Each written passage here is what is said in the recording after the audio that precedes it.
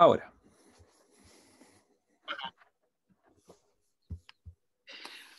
Muy buenos días a nombre de la Corporación Municipal de Turismo de la Municipalidad de Vicuña.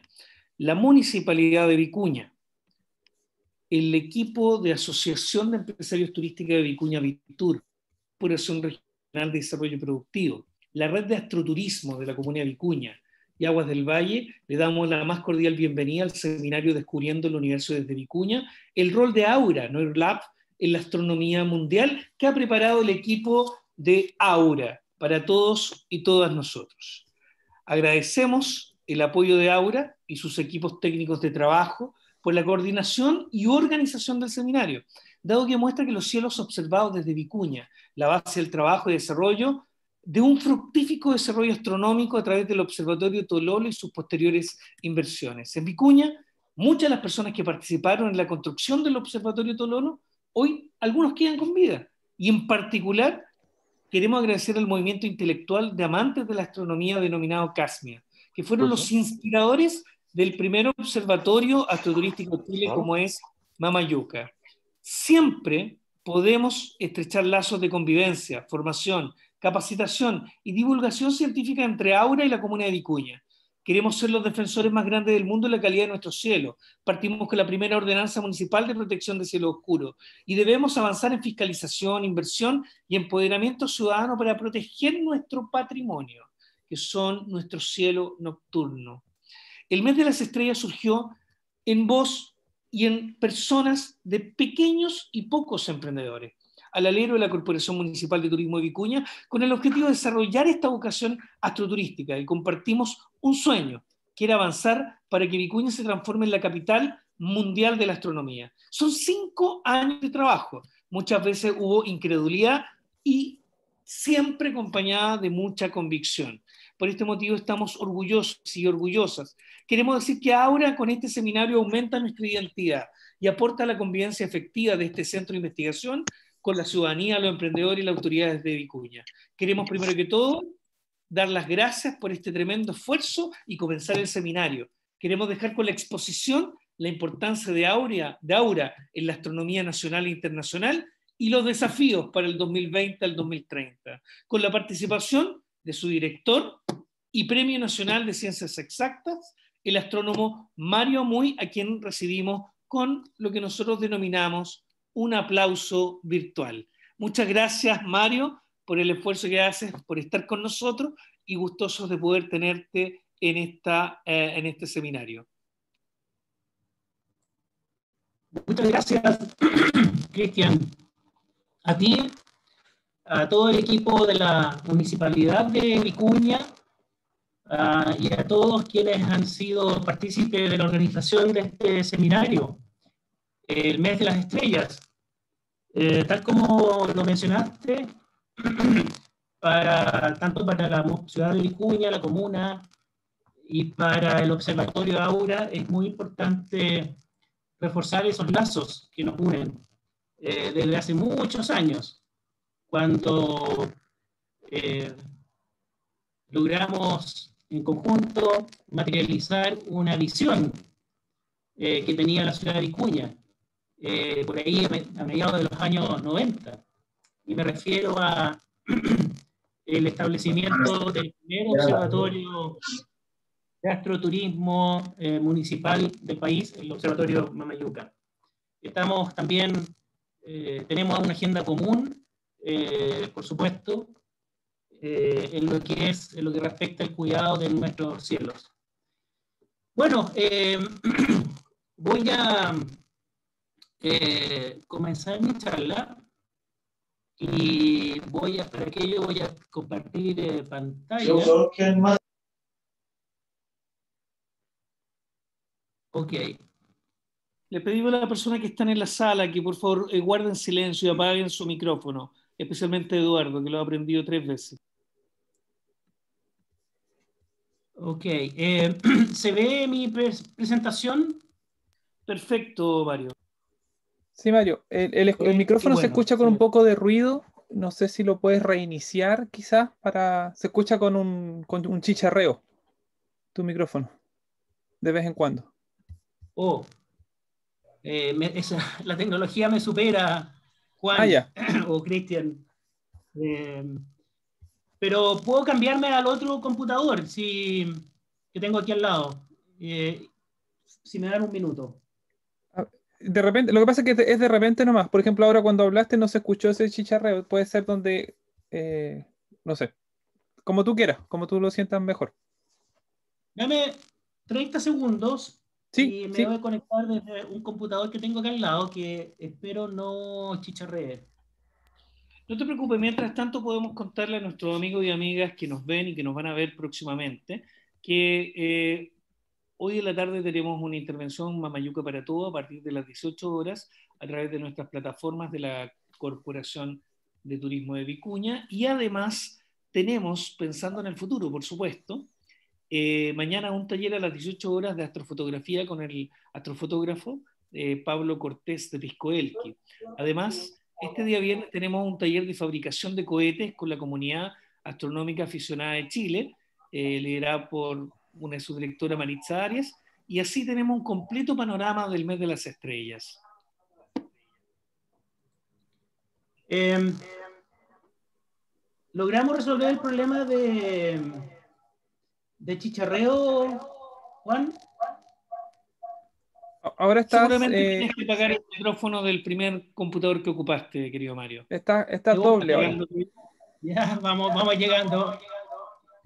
Eh, Hay que pagar solamente el volumen. Sí. Habla de nuevo y vamos a corroborar. Sí. Eh, Ok, estoy cerrando la sesión. Ya.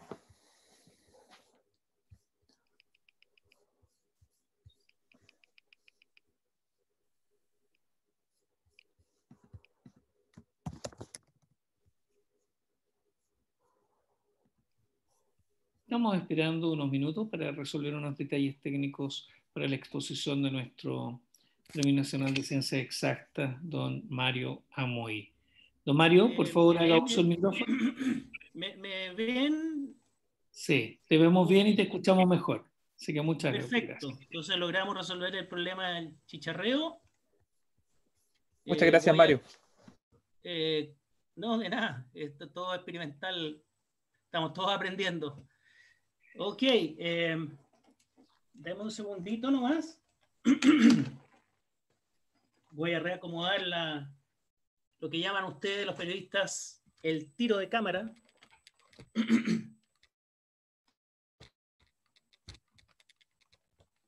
ok, Ahí creo que ya estoy. Eh, está perfecto, está perfecto, Mario. Se ve bien, se escucha perfecto y la imagen está también perfecta. Así que podemos partir con don Mario Muy, Premio Nacional de Ciencia Exacta, director Aura, y una persona que también está muy comprometida con el desarrollo de nuestra actividad astroturística en nuestro territorio, que es Vicuña. Muchas gracias, Mario, por estar en el mes de la estrella y en este seminario que han preparado junto a tu equipo. Ok, bien, partamos. eh, bueno, junto con agradecer la invitación que me ha hecho la Municipalidad de Vicuña, eh, voy a dar inicio a, una charla que, es primera vez que la doy, a pesar de que solo llevo, ya llevo un año en el Observatorio Aura como director y representante en Chile, eh, debido a las contingencias múltiples que hemos tenido, eh, no había dado una charla sobre Aura para el público externo. así que eh, esta va a ser la primera vez que lo hago. bueno, eh, quisiera, eh, bueno, evidentemente partir por mencionar qué hace la astronomía.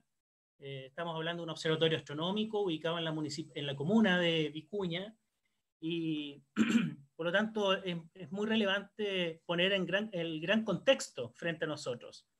la astronomía investiga preguntas fundamentales que se ha hecho la humanidad por milenios y que nosotros, nuestra generación, tiene la fortuna de poder responder esas preguntas gracias al método científico y a las tecnologías que hoy día están disponibles. En ese sentido, somos muy, muy privilegiados. Las preguntas fundamentales de la humanidad son ¿de dónde venimos como especie humana? Eh, ¿Cómo comenzó el universo? De dónde vienen los elementos químicos de los cuales está hecho nuestro cuerpo, nuestro planeta. ¿Existen planetas más allá del sistema solar? ¿Hay vida? Esa es una de las preguntas del millón. ¿Hay vida en otras partes del universo? ¿Hacia dónde va nuestro universo y cuál es su destino? Preguntas nada fáciles, que se le han hecho filósofos desde hace por lo menos eh, unos 5.000 años, cuando la astronomía comienza en, en lo que es eh, la antigua Persia, eh, el actual Irak, Irán, ahí en Mesopotamia. Ahí se instalaron los primeros observatorios astronómicos hace 5.000 años. Y lo interesante es que hoy día el, el polo mundial de la observación astronómica está en el desierto de Atacama. Así es que la, capital mundial de la astronomía se trasladó en 5.000 años desde la antigua Mesopotamia a, a nuestro desierto de Atacama. Bueno, nosotros eh, como astrónomos estamos estudiando desde lo más cercano hasta lo más lejano. Estudiamos eh, objetos del sistema solar, asteroides, eh, los mismos planetas y los cometas, que siempre despliegan un gran show en el cielo. Eh, también estudiamos nuestro hogar galáctico, la Vía Láctea, esa franja maravillosa de luz que va de horizonte a horizonte y que se puede ver muy bien en las noches eh, vicuñenses. nuestro observatorio en Chile eh, y nuestro país eh, tiene el privilegio, la fortuna de estar en una situación privilegiada para el estudio de la Vía Láctea.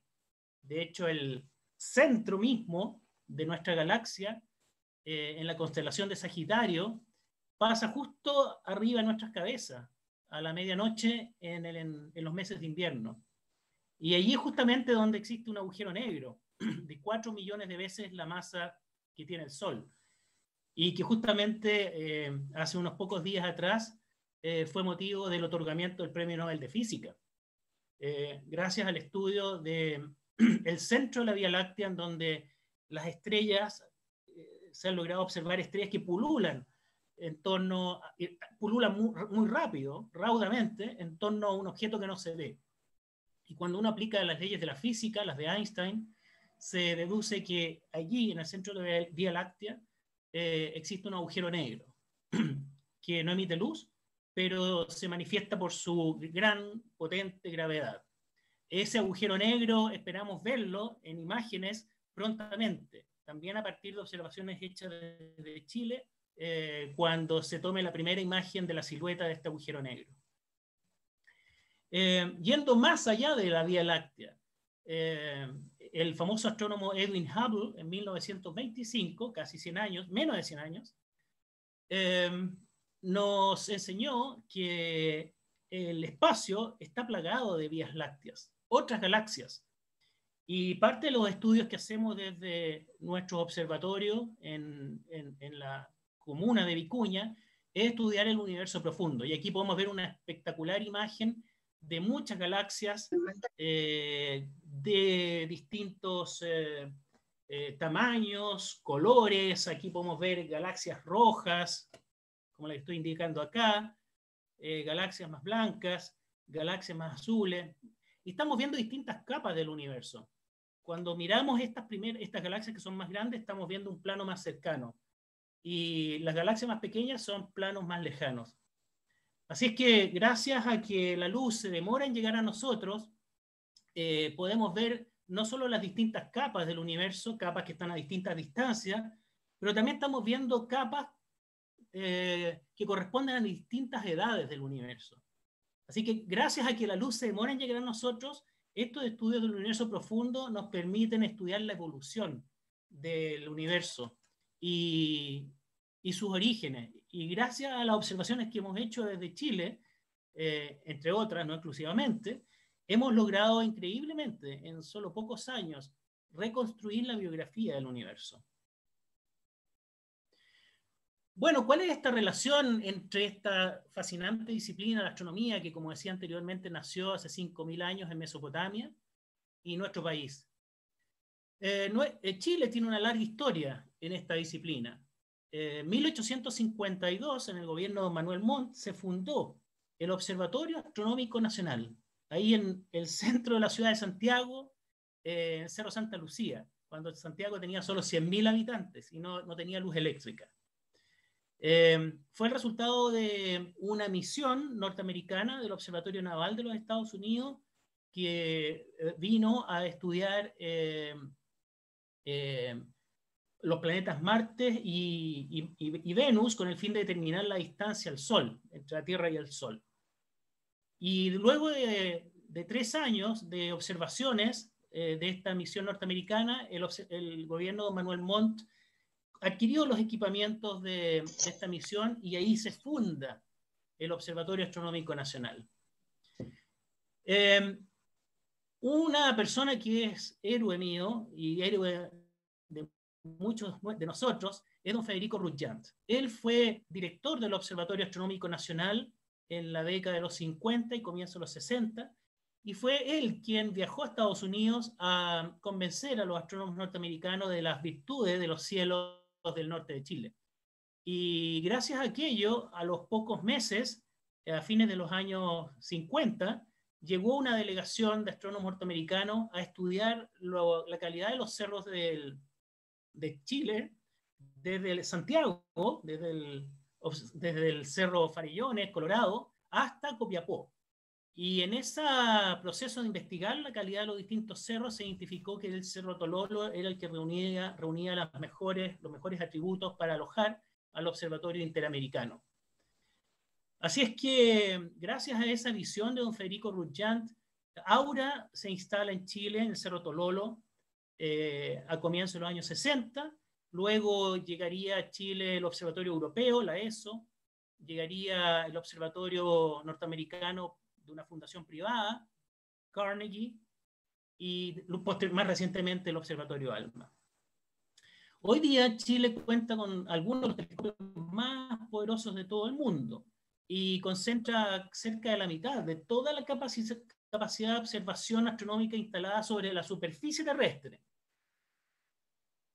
No estamos incluyendo en este cálculo los observatorios que operan desde el espacio, que son también eh, aportan un gran valor al estudio del universo.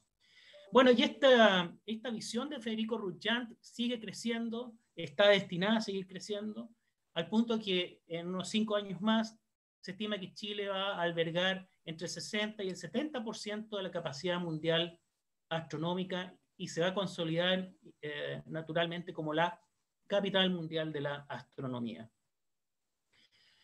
Les quiero contar un poquito eh, sobre nuestra organización Aura. eh, por sus siglas en inglés, eh, corresponde a una asociación de universidades para la investigación en astronomía y, por sus siglas en inglés se denomina AURA. Fue fundada en 1957, poco antes del viaje de Federico Ruggiant a Estados Unidos, por un grupo de universidades norteamericanas. Hoy día, AURA ya cuenta con 47 instituciones miembros del el país norteamericano, más tres miembros internacionales, entre los cuales está la Universidad Autónoma de México, la UNAM, la Universidad de Chile y la Universidad Católica de Chile.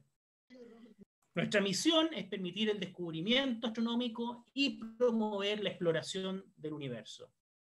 Actualmente Aura administra tres, centros astronómicos. El de la izquierda, en la fotografía inferior, es el famoso telescopio Hubble, eh, Aura administra el Instituto del Telescopio Espacial, que está ubicado, tiene su sede en la ciudad de Baltimore, en Estados Unidos. El Observatorio, Observatorio Solar Nacional de los Estados Unidos, eh, que está aquí representado por su nuevo telescopio DKIST, o DKIST, ubicado en el volcán Haleakala, en Maui, la isla de Hawái. Eh, también es administrado por Aura. Y a la derecha eh, tenemos el Laboratorio Nacional Óptico e Infrarrojo, que está ubicado, tiene sedes en Estados Unidos y en Chile. En Estados Unidos, en Hawái, en Arizona y en nuestro país. Estos son los tres centros que administra Aura. Este, esta rama que tiene el, este laboratorio nacional que, lo llamamos Noir Lab, eh, por sus siglas en inglés. Eh, tiene sus raíces a comienzos de los años 60, cuando yo les, les, comentaba hace un rato atrás que Federico Ruggiant logró convencer a astrónomos norteamericanos que vinieran a nuestro país a investigar la calidad de los cielos chilenos. Aquí está la prueba. Eh, el viaje de, de los astrónomos eh, norteamericanos y chilenos de la Universidad de Chile que conquistaron Tololo se demoraba tres días, eh, contemplando el viaje de solo de La Serena a la cima del Cerro Tololo. Eh, se hacía por vía terrestre, luego a lomo de mula, en dos etapas. Fue un trabajo pionero de gente muy, muy visionaria. Bueno, esto es eh, parte de la historia. Eh, hoy día eh, Aura cuenta con una hacienda que se llama el Totoral, con varios miles de hectáreas, 30.000 hectáreas, un poco más, en la misma comuna de Vicuña. Aquí podemos ver el embalse Puclaro, la entrada a la estancia del Totoral. Aquí se ubica Cerro Tololo, que es donde se instalaron los primeros telescopios de Aura, y aquí está el Cerro Pachón, que se desarrolló más recientemente y, que está a una altura algo mayor que Tololo. Aquí se puede ver el Puclaro, se puede ver el camino eh, que une La Serena con, con Vicuña. Bueno, el Cerro Tololo está ubicado a 2.200 metros sobre el nivel del mar. Eh, oficialmente eh, comenzó sus observaciones científicas en 1965, aunque la leyenda nos cuenta que esos astrónomos pioneros que subieron al lomo de mula llevando los primeros instrumentos no se aguantaron y tan pronto llegaron con los instrumentos a la cima de Tololo, comenzaron a hacer sus primeras observaciones porque estaban maravillados con, los cielos eh, del desierto de Atacama. Y en la actualidad alberga más de 30 telescopios, el Cerro Pachón eh, se ha ido desarrollando más recientemente, está más alto que Tololo, lo cual es favorable para la observación astronómica, particularmente para quienes eh, eh, estudian la ventana infrarroja del espectro electromagnético. mientras más alto esté el observatorio, hay menos atmósfera entre el telescopio y las estrellas, y eso es muy relevante cuando se quieren hacer estudios infrarrojos en donde el vapor de agua es el principal elemento opaco que dificulta la observación infrarroja. Pero al ubicar los telescopios a mayor altura, se va minimizando esa dificultad. Y allí es donde se han instalado telescopios como eh, Gemini Sur, el telescopio SOAR y el telescopio Rubin, que los vamos a mostrar en mayor detalle a continuación. Este es el telescopio Gemini Sur, que tiene un gemelo en Hawái, el telescopio Gemini Norte, son idénticos. Está en operación en Cerro Pachón desde el año 2000. A la izquierda ustedes pueden ver aquí el tamaño gigantesco del espejo. Eh, no lo mencioné, se me olvidó. en Cerro Tololo el telescopio más grande, eh, lo voy a mostrar ahí, es este, el que está alojado en esta cúpula. Es un telescopio de 4 metros que data de la década de los 70. Hoy día lleva el nombre de un exdirector de Tololo, don Víctor Blanco. Y, el, fue el telescopio más grande del hemisferio sur por muchas décadas. Eh, por, me atrevería a decir, la década de los 70, 80 y 90. Fue el telescopio más importante en el hemisferio sur. Eh, bueno, la tecnología nos ha permitido hacer crecer el tamaño de los espejos y mientras más grande el espejo, más luz podemos recolectar del universo. Y aquí podemos ver este gigantesco telescopio con un espejo de 8,1 metros de diámetro, que es el corazón de este instrumento. Está perfectamente luminizado, refleja perfectamente la luz y, y eso es lo que nos permite observar el universo profundo. Aquí pueden ver tres personas que estamos visitando el Cerro Pachón hace un año atrás. No los elegí por ser chicos, ¿ah? para tratar de agrandar artificialmente el espejo, no. Somos personas de tamaño medio, eh, así es que eh, efectivamente el telescopio tiene un espejo muy grande. Y este telescopio tiene una tecnología fabulosa. Eh, ustedes la pueden ver aquí al lado derecho. Se puede ver este rayo láser que emana desde el telescopio, que produce una estrella artificial a 50 kilómetros de altura.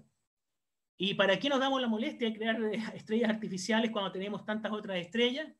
Porque em, la, luz que produce esa estrella artificial baja hacia el telescopio em, y los computadores nos permiten analizar la distorsión de la atmósfera que produce, que, produce la atmósfera sobre esta estrella artificial que debiera ser puntual. Si llega distorsionada debido a la turbulencia atmosférica, quiere decir que hay que hacer correcciones para evitar eh, esa, esa distorsión producida por la turbulencia atmosférica. Y los computadores hoy día nos permiten analizar esa luz muy rápido y con unos espejos chiquititos que son flexibles, eh, se logra contrarrestar la turbulencia atmosférica y se logran obtener imágenes de esa zona del cielo equivalentes a las que tiene el, el o incluso superiores que la que puede tener el telescopio espacial, que no sufre este problema de la turbulencia atmosférica. Así que esto nos permite obtener imágenes super, de calidad y nitidez superlativa. Y justamente esta tecnología fue la que permitió el descubrimiento del agujero negro en el centro de la Vía Láctea. Bueno, el telescopio SOAR eh, de 4 metros, 4,1 metros, está operativo desde el año 2004, es un consorcio que incorpora también a partners de Brasil, Estados Unidos y Brasil. También cuenta con técnicas muy sofisticadas para mejorar la calidad de la imagen y como les decía anteriormente, no solo observa en el óptico, pero también aprovecha las virtudes de Cerro Pachón para observar en el infrarrojo. Y este telescopio eh, es el futuro. Eh, se estima que va a estar terminado en 2023. Está ubicado en Cerro Pachón. Se llama el telescopio Vera Rubin, en honor al astrónoma que estudió la rotación de las galaxias y gracias a aquello logró demostrar de que las galaxias están embebidas en halos oscuros gigantescos eh, de materia oscura, que no sabemos lo que es, pero se manifiesta por la manera en que las galaxias rotan. Bueno, este telescopio es eh, futurista, eh, nos va a hablar mucho más sobre aquello Eduardo Serrano en unos minutos más.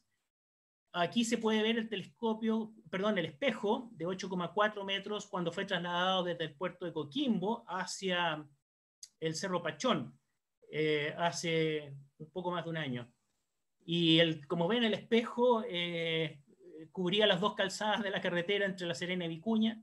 Llegó muy bien, en buenas condiciones al, al cerro y estaba guardado en un contenedor a la espera que se termine de armar la cúpula. El telescopio Rubin, que se va a ver así cuando esté completamente terminado, tiene un diseño muy especial. Eduardo nos va a contar por qué está diseñado de esa manera. Tiene un espejo que yo le decía es grande, 8,4 eh, metros, pero tiene la gracia, y eso lo diferencia de todos los otros telescopios, que permite ver un campo amplio en el cielo. Es como un gran angular. En general, los telescopios tradicionales hacen un zoom en una zona pequeña del cielo. Este telescopio al revés va a lograr observar en una sola imagen un campo de visión que es 40 veces el tamaño de la luna llena. Es gigantesco. Y lo va a hacer con una cámara digital que, tiene, que está acá abajo, que tiene un metro de altura aproximadamente, de, de diámetro, que tiene 3.200 millones de píxeles.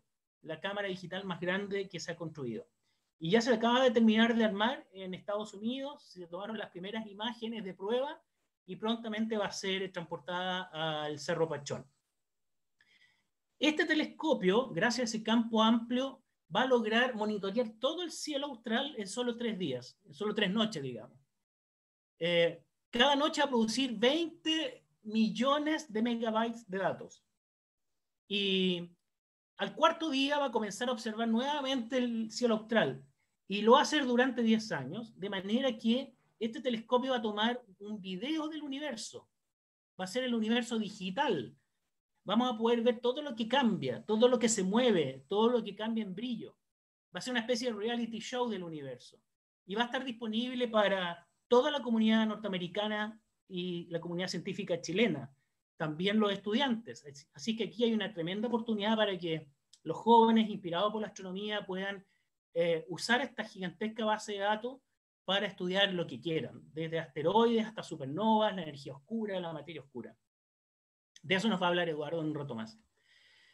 Bueno, Aura no solo está embarcada en esto, no es la única institución que está embarcada en estos desarrollos tecnológicos alucinantes que empujan la tecnología a su límite. El observatorio Carnegie en las campanas eh, está construyendo este telescopio que va a tener siete espejos, como una especie de pétalo de flor, siete pétalos de una flor, que en conjunto van a equivaler un diámetro a un telescopio con un diámetro de 24 metros. Gigantesco.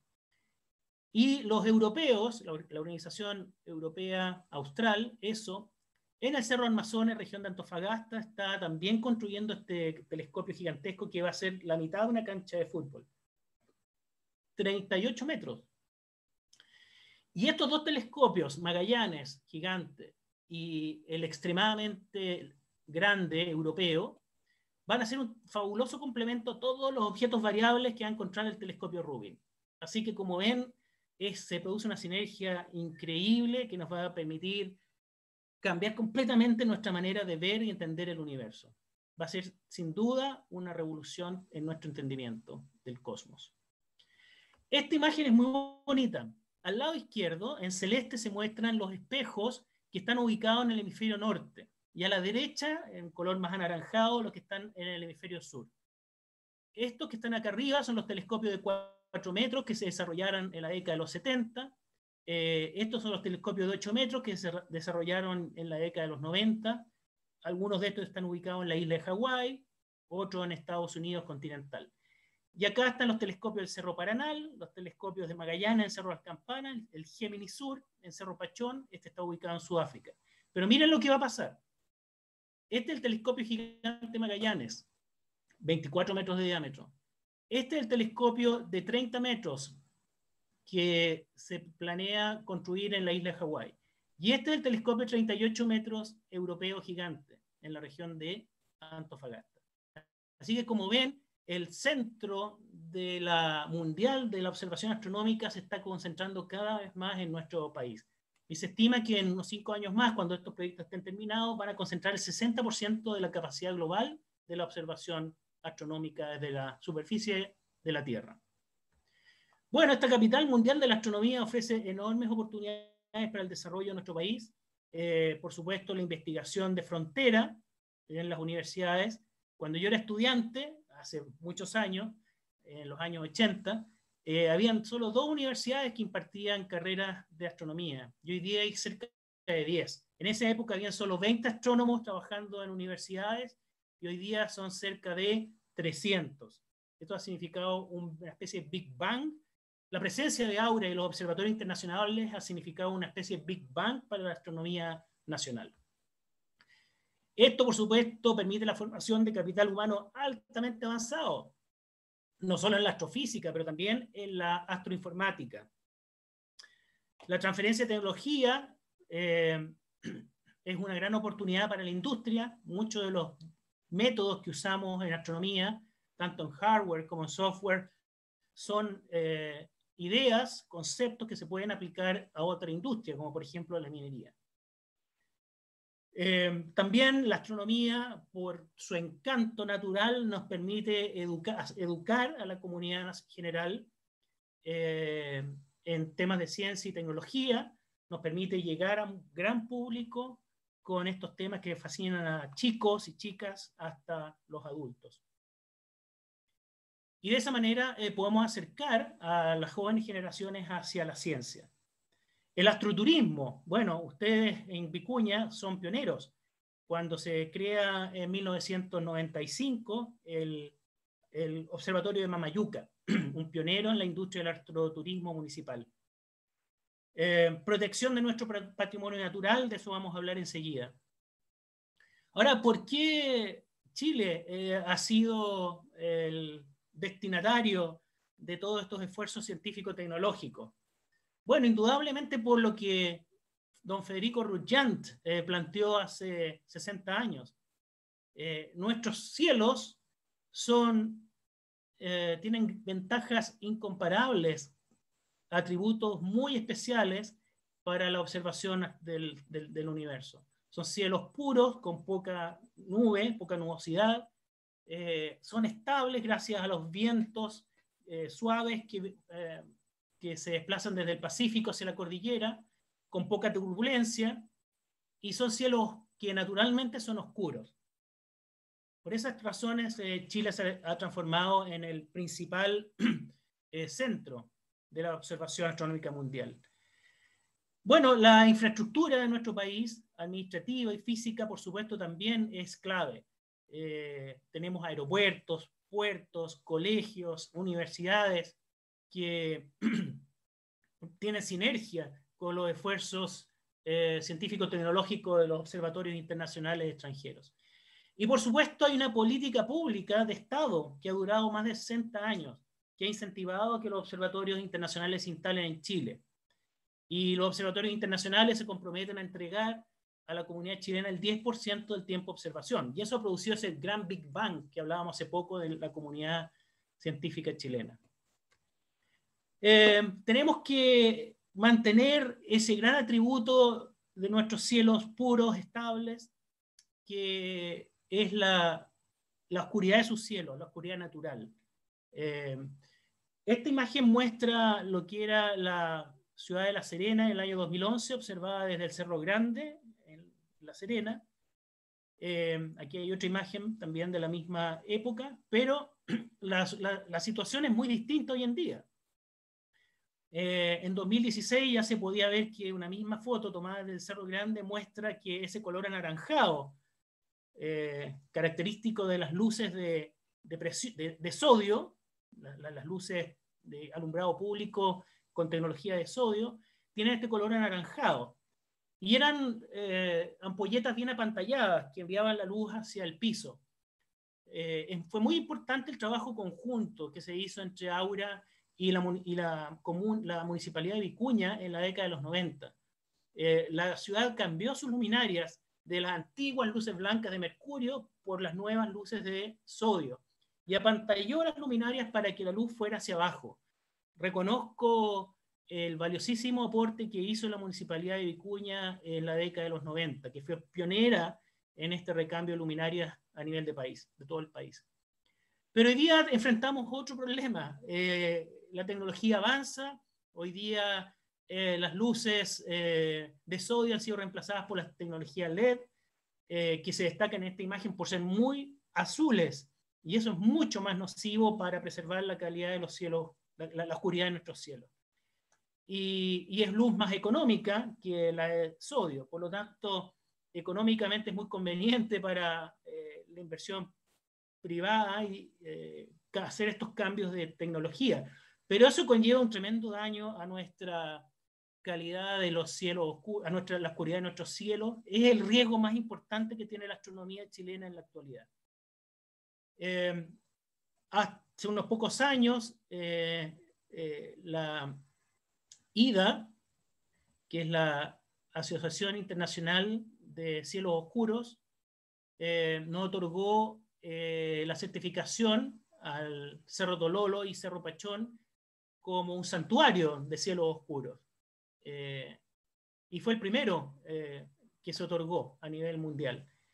Eso fue en el, hace cinco años atrás, como se puede ver aquí, el año 2015. Fue un gran logro para nuestra organización, para la ciudad de Vicuña, la comuna de Vicuña. Y queremos preservar aquello. Así que tenemos que tomar conciencia de la amenaza de esta contaminación lumínica. Eh, tenemos que tener presente que no solo es un beneficio para la ciencia mundial, para la humanidad en general, sino también tiene otros impactos en la salud humana, en la fauna, los pájaros se desorientan y mueren atraídos por las fuertes luces de las ciudades. Eh, conlleva un daño económico eh, y una amenaza al turismo, eh, astro, al astroturismo.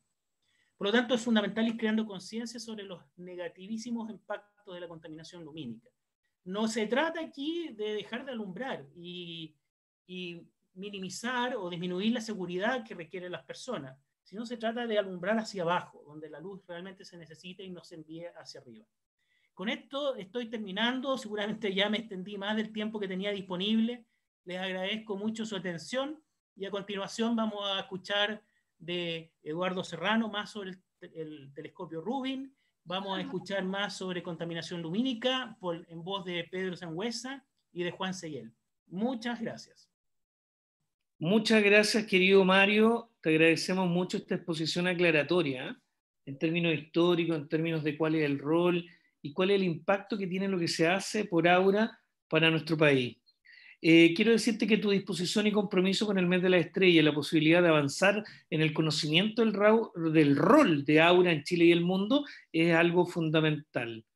Eh, ahora queremos dejar con la exposición el desafío de construir el telescopio Vera Rubin con la participación del site manager del observatorio Vera Rubin, el ingeniero mecánico señor Eduardo Serrano. Eduardo, quiero darte la bienvenida, agradecer el trabajo y que nos puedas contar qué ha significado y qué impacto tiene la construcción de este eh, telescopio. Eduardo, ¿estás ahí? Sí, hola, buenos días, estoy aquí. Muchas gracias por esta oportunidad. Eh, quiero exponer, ¿no es cierto? Bueno, veo que... Eh, ya te tenemos en pantalla, tienes que compartir tranquilo. Voy, voy en este momento a compartir, ¿no es cierto? Hay muchas personas interesadas en, en desentrañar, ¿no? ¿Se ve, por favor, ¿se ve la presentación? No, no se ve, querido. Dame un segundo, por favor. La tienes que poner como arriba y luego cargarla. Sí.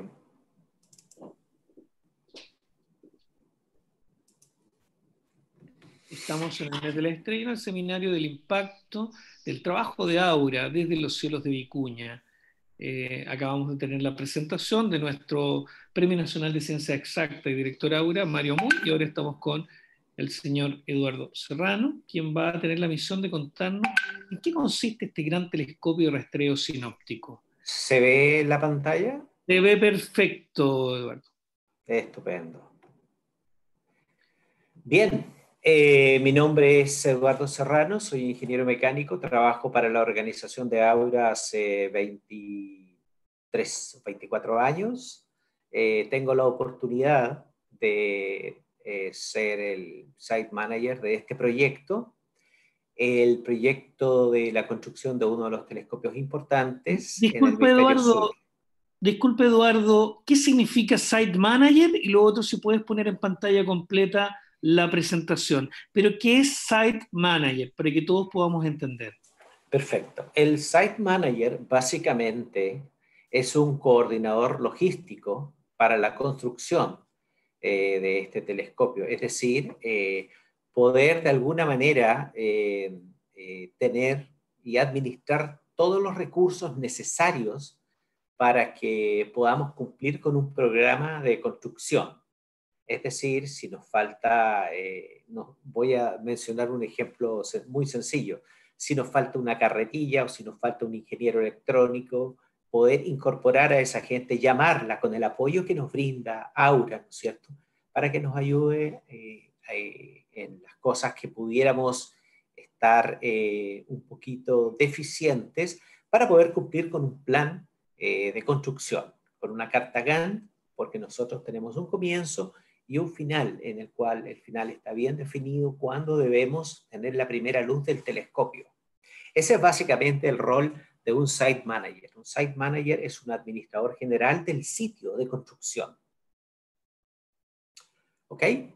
Se escucha y la pantalla está abierta entera, ¿no es cierto? Sí, está bien, se escucha bien y se ve bien. Perfecto, muy bien. Bueno, acá tenemos una, una imagen, ¿no es cierto?, eh, renderizada de lo que significa el telescopio eh, Pera Rubin, donde podemos ver básicamente el telescopio es una estructura del orden de las 350 toneladas, el cual va a usar una cámara de 3.2 billones de píxeles. Eh, si nosotros imaginamos nuestros propios teléfonos celulares donde tomamos imágenes o fotografías, nuestras cámaras son de 12 megapíxeles y aquí tenemos 3.2 billones de píxeles en las cámaras que vamos a ver a continuación, que es el instrumento de este telescopio. El telescopio, como hace un minuto atrás comentaba Mario, está ubicado en Cerro El Peñón, donde hay, existen tres telescopios, SOAR, Gemini y Cerro Pachón. Básicamente estamos a 500 metros, 500 metros más alto de lo que es el Cerro Tololo. Estamos a 2.700 metros aproximadamente. Nosotros en el cerro o, en la locación donde íbamos, donde se pensó en instalar inicialmente el telescopio eh, Vera Rubin, ¿no es cierto? Hicimos donde está mi mouse un corte en la plataforma principal e hicimos donde está mi mouse acá abajo un corte en una plataforma para un telescopio auxiliar, a diferencia de lo que significa, ¿no es cierto?, el rayo láser que disparaba Gemini para poder hacer calibraciones de su telescopio en, en, la plataforma auxiliar, que es la plataforma chiquitita, ¿no es cierto? Vamos a tener un telescopio que ya lo tenemos, ¿no es cierto?, operativo, el cual va a entregar información al telescopio mayor que va a ir en la plataforma principal. Aquí podemos ver, ¿no es cierto?, en mi parte derecha, donde tengo el mouse, el telescopio de calibración, y en la parte izquierda de la pantalla podemos ver el telescopio principal. Entonces, el telescopio chiquitito entrega información para que el telescopio grande pueda hacer sus calibraciones antes de iniciar sus observaciones. Eh, este edificio, para que tenga una idea, es un edificio de 5.000 metros cuadrados es un edificio que tiene ocho niveles, es bastante grande, eh, y está construido el edificio de servicio, donde yo estoy apuntando mi mouse, en la ladera de un cerro. ¿Por qué está construido en la ladera del cerro y no en la plataforma principal, en, en la plataforma plana? Porque si nosotros conversamos con nuestros queridos astrónomos, todos ellos quieren un telescopio puesto arriba de un cerro. Nada más. Ellos no quieren una cúpula, no quieren un edificio de servicio, no quieren nada. Quieren un telescopio para poder mirar. Y nosotros como ingenieros tenemos que decirle, pero señor, el telescopio tenemos que protegerlo contra el polvo. Entonces nos dicen, ah, bueno, ya, entonces pongamos una cubierta. Pero señor, el telescopio eh, necesita un sistema, salas computarizadas y cosas por el estilo. Ok, pongamos salas.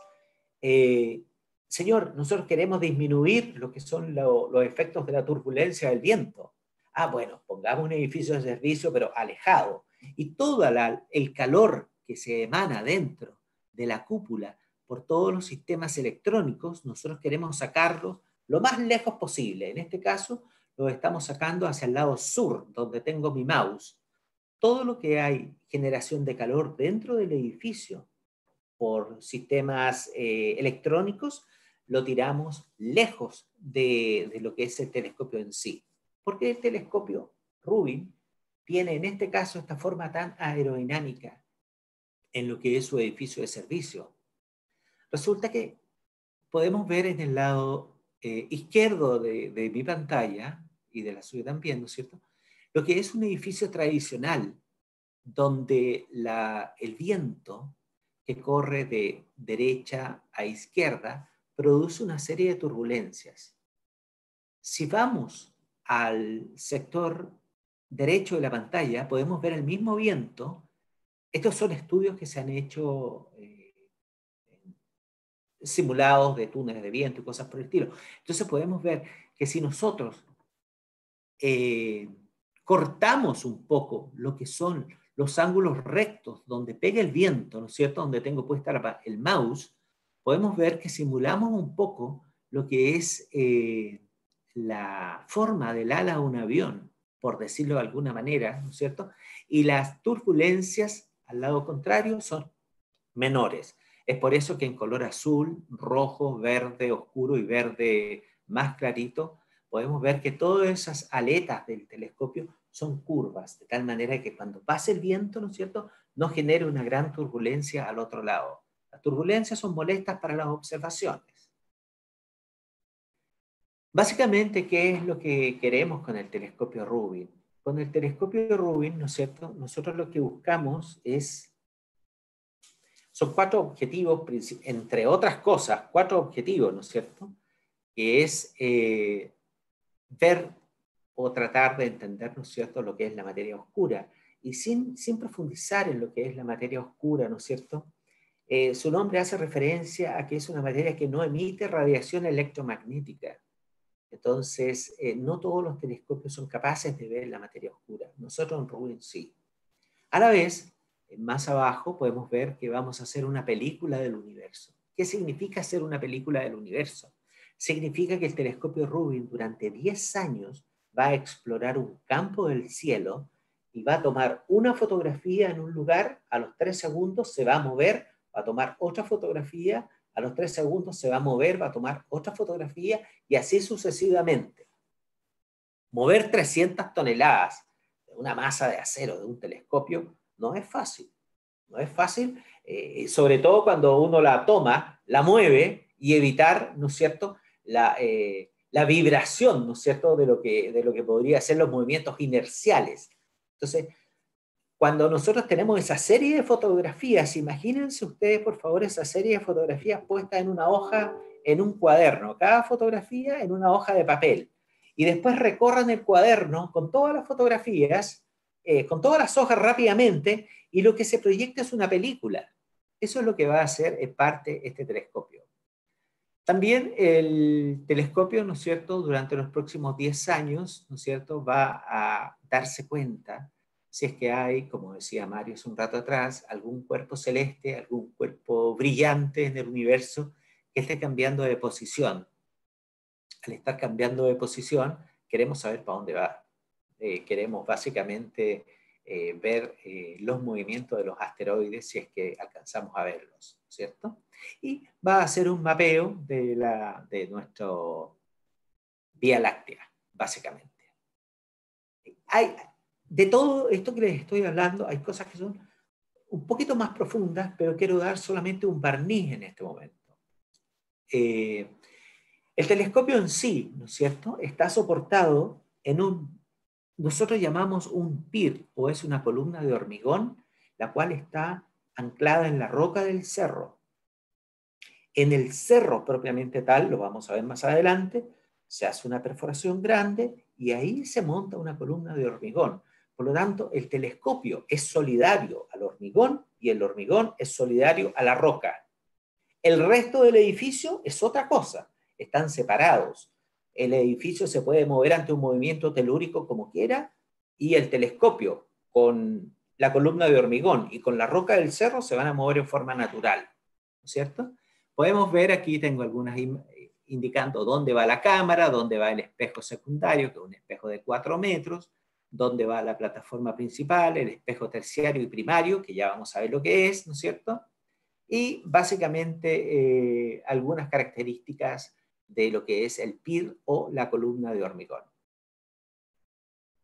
Siguiendo un poquitito, eh, este telescopio Rubin va a tener una cámara como indicó hace un momento atrás Mario, ¿no es cierto? Que es una cámara que tiene un diámetro APP de 1,80, ¿no es cierto? Tenemos una figura humana que representa la cámara, porque tiene un plano focal del orden de los 64 centímetros de diámetro y tiene 198 sensores.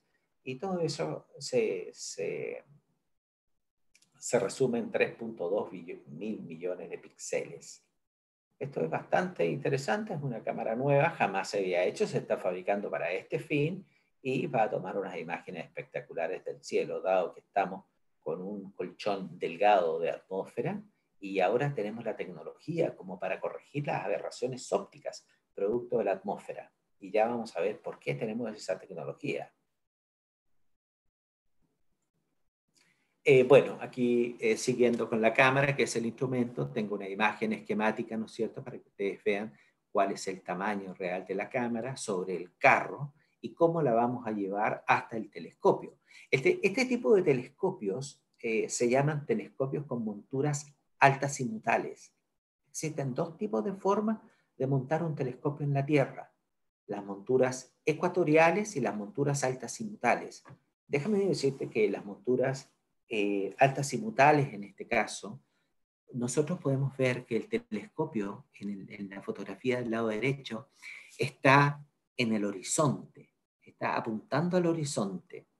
Ese telescopio es capaz de moverse 90 grados en elevación y posteriormente a que se mueve 90 grados en elevación, el telescopio es capaz de rotar prácticamente 360 grados y cuando llega a la parte superior del telescopio puede volver a bajar y de esa manera cubre eh, los 180 grados aproximadamente de lo que es una observación nocturna. Ahora, ¿por qué monturas altasimutales? ¿Por qué moverlo 90 grados y no moverlo como con monturas ecuatoriales 180 grados? Porque es más fácil mover una estructura de 300 toneladas, moverla a 90 grados, a moverla a 180 grados. Permítame seguir. En el tercer nivel de este edificio, ¿no es cierto? Tenemos el espejo, como indica acá el espejo M1, M3, así lo llamamos y vamos a ver por qué. Eh, posteriormente eh, tenemos lo que es la cámara de recubrimiento, que es la que sigue. Eh, y al final, ¿no es cierto?, tenemos una, una tapa inferior de la cámara de recubrimiento donde también hacemos el recubrimiento del espejo secundario. Hay, hay, hay un dato importante que, que es interesante compartir con ustedes. Cuando nosotros aluminizamos o platizamos o, ponemos una capa que refleje los fotones de luz que llegan del espacio, no es como ir con el espejo del baño de nuestras casas y ponerlo afuera eh, contra las estrellas, porque esa capa que proyecta la, la reflexión de las cosas, en el caso de los espejos domésticos de nuestras casas, está puesta por abajo del vidrio. En este caso nosotros hacemos la deposición de esta capa que hace la reflexión de los fotones de luz en la parte superior del espejo. Por eso son delicados. Los espejos más o menos, para que ustedes se formen una idea, se limpian con un gas CO2 una vez a la semana y se lavan in situ con unas esponjas marinas, proceso muy delicado cada cuatro meses y aproximadamente eh, cada cuatro o cinco años, dependiendo de la reflectividad, cómo ha ido bajando, vamos y hacemos todo este proceso que estamos mirando en este momento. Lo bajamos, lo limpiamos, lo lavamos con ácidos y cosas especiales y lo aluminizamos o lo platizamos eh, nuevamente. Entonces el espejo, una vez que está listo, corre por un carro a través de unos rieles y, aquí lo podemos ver en esta imagen, se proyecta la línea roja en la línea roja que tengo acá, como viene desde el tercer nivel, pasa un super elevador que tiene una capacidad de 80 toneladas, el elevador sube, levanta un techo, levanta un techo y luego entra al telescopio. Acá ya podemos ver cómo está entrando al telescopio y podemos ver también que el techo ya se ha levantado. Para ese efecto, la cúpula tiene que estar en una posición especial, tiene que abrir unas compuertas especiales, tiene que tener un sistema de seguridad especial para que no vaya a rotar, tienen que existir condiciones ambientales especiales también. Esto no se puede hacer con vientos de 80 kilómetros por hora o cuando esté nevando. En fin. Este es el famoso espejo cuando yo me refiero al espejo M1, M3. Este es un espejo monolítico, ¿no es cierto? Monolítico es de una pieza, donde el espejo en sí es un espejo que está conformado por dos, dos en uno, el M1 y el M3. ¿Cómo funcionan estos espejos? Básicamente los fotones de luz bajan, llegan a los espejos, ¿no es cierto? Y el espejo los, proyecta hacia un espejo secundario, luego hacia un espejo terciario, y ese espejo terciario los va a enviar en este momento a la cámara. Podría enviarlo a cualquier otro lugar, nosotros lo vamos a enviar a la cámara, ¿no es cierto? Ahora, las aberraciones ópticas, fíjate bien lo que digo, las aberraciones ópticas que nosotros pudiéramos tener basado en alguna mala configuración o en alguna mala condición atmosférica, nosotros hoy día somos capaces de corregirla mediante 156 actuadores neumáticos. Es decir, el espejo está soportado como un panqueque. Imagínate soportar un panqueque de 8 metros con actuadores que se mueven, que tienen un rango de movimiento de más 3 milímetros, ¿no es cierto? Y podemos ir deformando el espejo. En otras palabras, si yo miro el cielo sin mis lentes ópticos y, no veo muy claro producto de alguna aberración óptica, lo que hacíamos anterior, antiguamente poníamos un filtro, que son mil lentes ópticos. Hoy día no. Hoy día somos capaces de ir operando o deformando el ojo para que, eh, poder compensar o corregir esas aberraciones ópticas. Eso hace que la tecnología actual de los telescopios SOAR, de los telescopios Gemini, por ejemplo, eh, sean capaces de tomarse como un panqueque. Por ejemplo, el telescopio SOAR es un telescopio de 4 metros de apertura, 4,1 metros de apertura, y tiene 10, 10 centímetros de espesor. O sea, por donde uno lo toma, se deforma. Pero está tomado sobre 120 actuadores piezoeléctricos. En nuestro caso son 156 actuadores neumáticos. Con esto corregimos parte de las aberraciones ópticas. Ahora, el desafío de la construcción. La construcción de este edificio no fue fácil. Nosotros comenzamos el año 2015 con excavaciones. Primero debo decir de que la parte superior de, la cumbre fue cortada. Cortamos la parte superior, pero antes de cortarla hicimos estudios, ¿no es cierto?, eh, para ver qué hay debajo de la roca, básicamente, si hay grietas o cosas por el estilo. Así que metimos unos tremendos testigos, ¿no es cierto?, y pudimos explorar y determinar que en el lugar donde va a ir el PIR o el telescopio, eh, es roca absolutamente competente. Esta roca es una roca andesita. La roca andesita es una roca extremadamente dura y competente. Significa que, para que tengamos una idea, nosotros podemos poner 150 toneladas en un metro cuadrado de roca andesita y la roca no sabe que tiene 150 toneladas en su superficie. Esa es la competencia de esta roca. Bueno, pero cuando, eh, cuando empezamos a construir el edificio de servicio en la ladera del cerro y empezamos a rascar la roca suelta, encontramos que la roca no era muy competente en la ladera del cerro. Entonces empezamos a hacer un hoyo grande y raspando todo, ¿no es cierto?, hasta encontrar roca competente. Y en esa, y, y, raspando el cerro en, su ladera, nos encontramos con esta cosa media amarillenta que ustedes ven, color medio anaranjado, que se llama arcilla. Fundar un edificio sobre la arcilla es imposible. Es como fundar un edificio sobre la jalea. La jalea se mueve, la arcilla se mueve, no es, no es competente. Entonces tuvimos que hacer un gran trabajo para empezar a descargar y sacar toda la arcilla y darnos cuenta, ¿no es cierto?, de que la arcilla básicamente terminaba en, algún lugar y no era constante hacia abajo, de tal manera de no fundar el edificio en dos cerros, ¿te fijas? Bueno, afortunadamente encontramos el fondo de la arcilla, incluso, oye, escoba y aspiradora para sacar el último grano de arcilla, hasta estar en roca andesita pura. Como el hoyo fue tan grande el que tuvimos que hacer, mira las irregularidades en, la zona derecha de la roca donde construimos el edificio de servicio. Nosotros llevamos una planta de hormigón hacia La Serena porque era más fácil tener una planta de hormigón que nos produjera los 120 metros cúbicos diarios que necesitábamos, a empezar a subir camiones mixer desde La Serena con 5 metros cúbicos, 7 metros cúbicos al cerro. Es una complejidad y ya lo vivimos en la construcción de observatorios anteriores en Cerro Pachón. Así que teníamos nuestra propia planta arriba. Luego que encontramos la roca competente, empezamos a rellenar, a rellenar, ¿no es cierto?, con hormigón, a subir un poco el nivel de este hoyo, porque el edificio en sí está calculado por, debo decir que los requisitos de este edificio son norteamericanos y la ingeniería es chilena.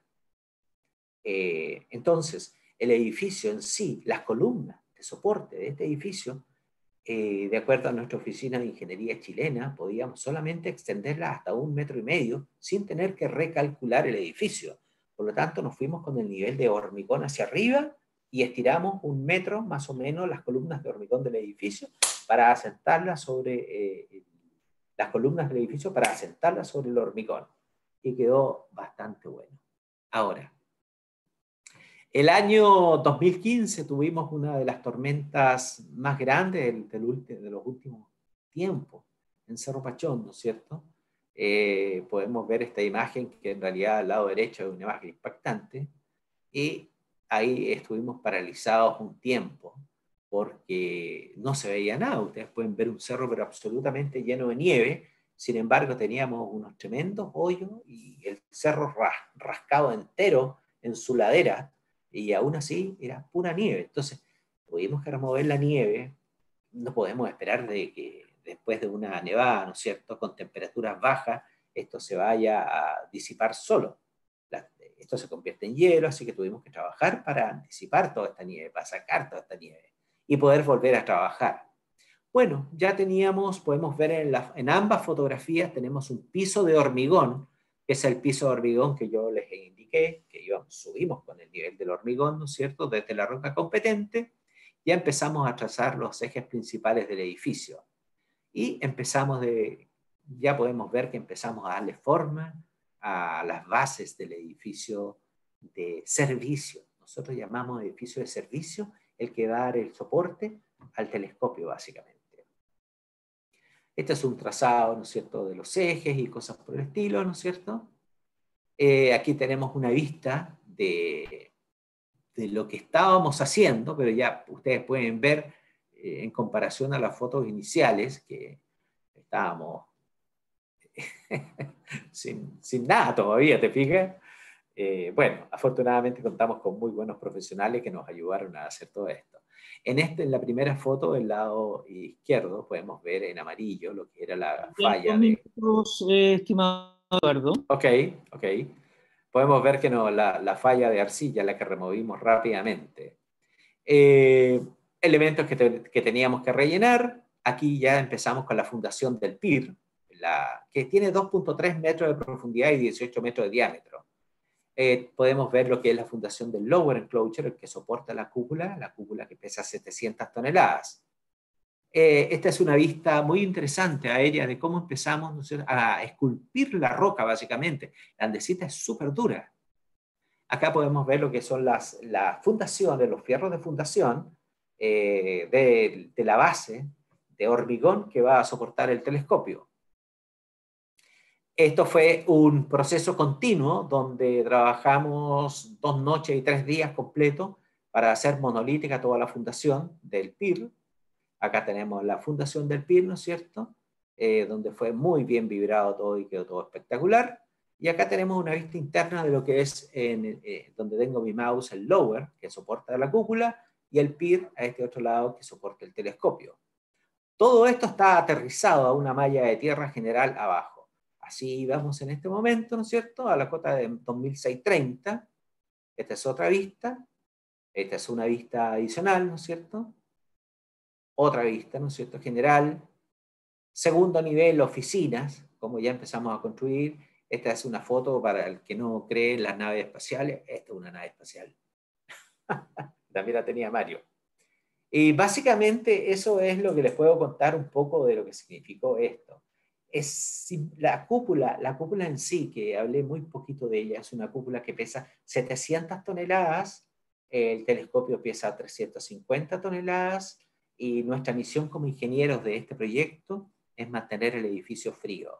El edificio es un edificio inteligente que hace eh, eh, proyecciones de las temperaturas eh, que podemos tener las noches siguientes, de tal manera de enfriar las cúpulas interiormente con sistemas de aire acondicionado, en las noches se apagan y luego se abren todos los sistemas de venteos y compuertas de la cúpula. Eh, básicamente es lo que les puedo contar en forma, en, rasgos muy generales. Eh, nosotros estamos ya eh, prácticamente a dos años de terminar, estamos terminando la cúpula. La cúpula viene con contratistas italianos, el telescopio con contratistas españoles. Muy, muy buenas, eh, primero que todo, buenos días a todos los que se han sumado, buenas tardes y buenas noches a los que van a poder ver estos contenidos on demand en el momento que lo deseen a través de YouTube, a través de Facebook Live y a todos los amigos que nos acompañan en la sala de, Zoom. Quiero decirte, Eduardo, que resolviste muchas dudas de instalación, funcionalidad, característica, y creo que se ha cumplido cabalmente el objetivo de esta presentación. Quiero decirles además a nuestros queridos amigos que, nos ven y que nos escuchan, que ustedes pueden hacer las preguntas a través de la plataforma de eh, Zoom, a través del chat, para que las vayamos rescatando. Así que felicitaciones, Eduardo, eh, son las, todas las mensajes que en este minuto te está llegando, porque realmente fue muy notable. El enterarnos de verdad, como diríamos eh, de buena forma, en qué consiste el Vera Rubin.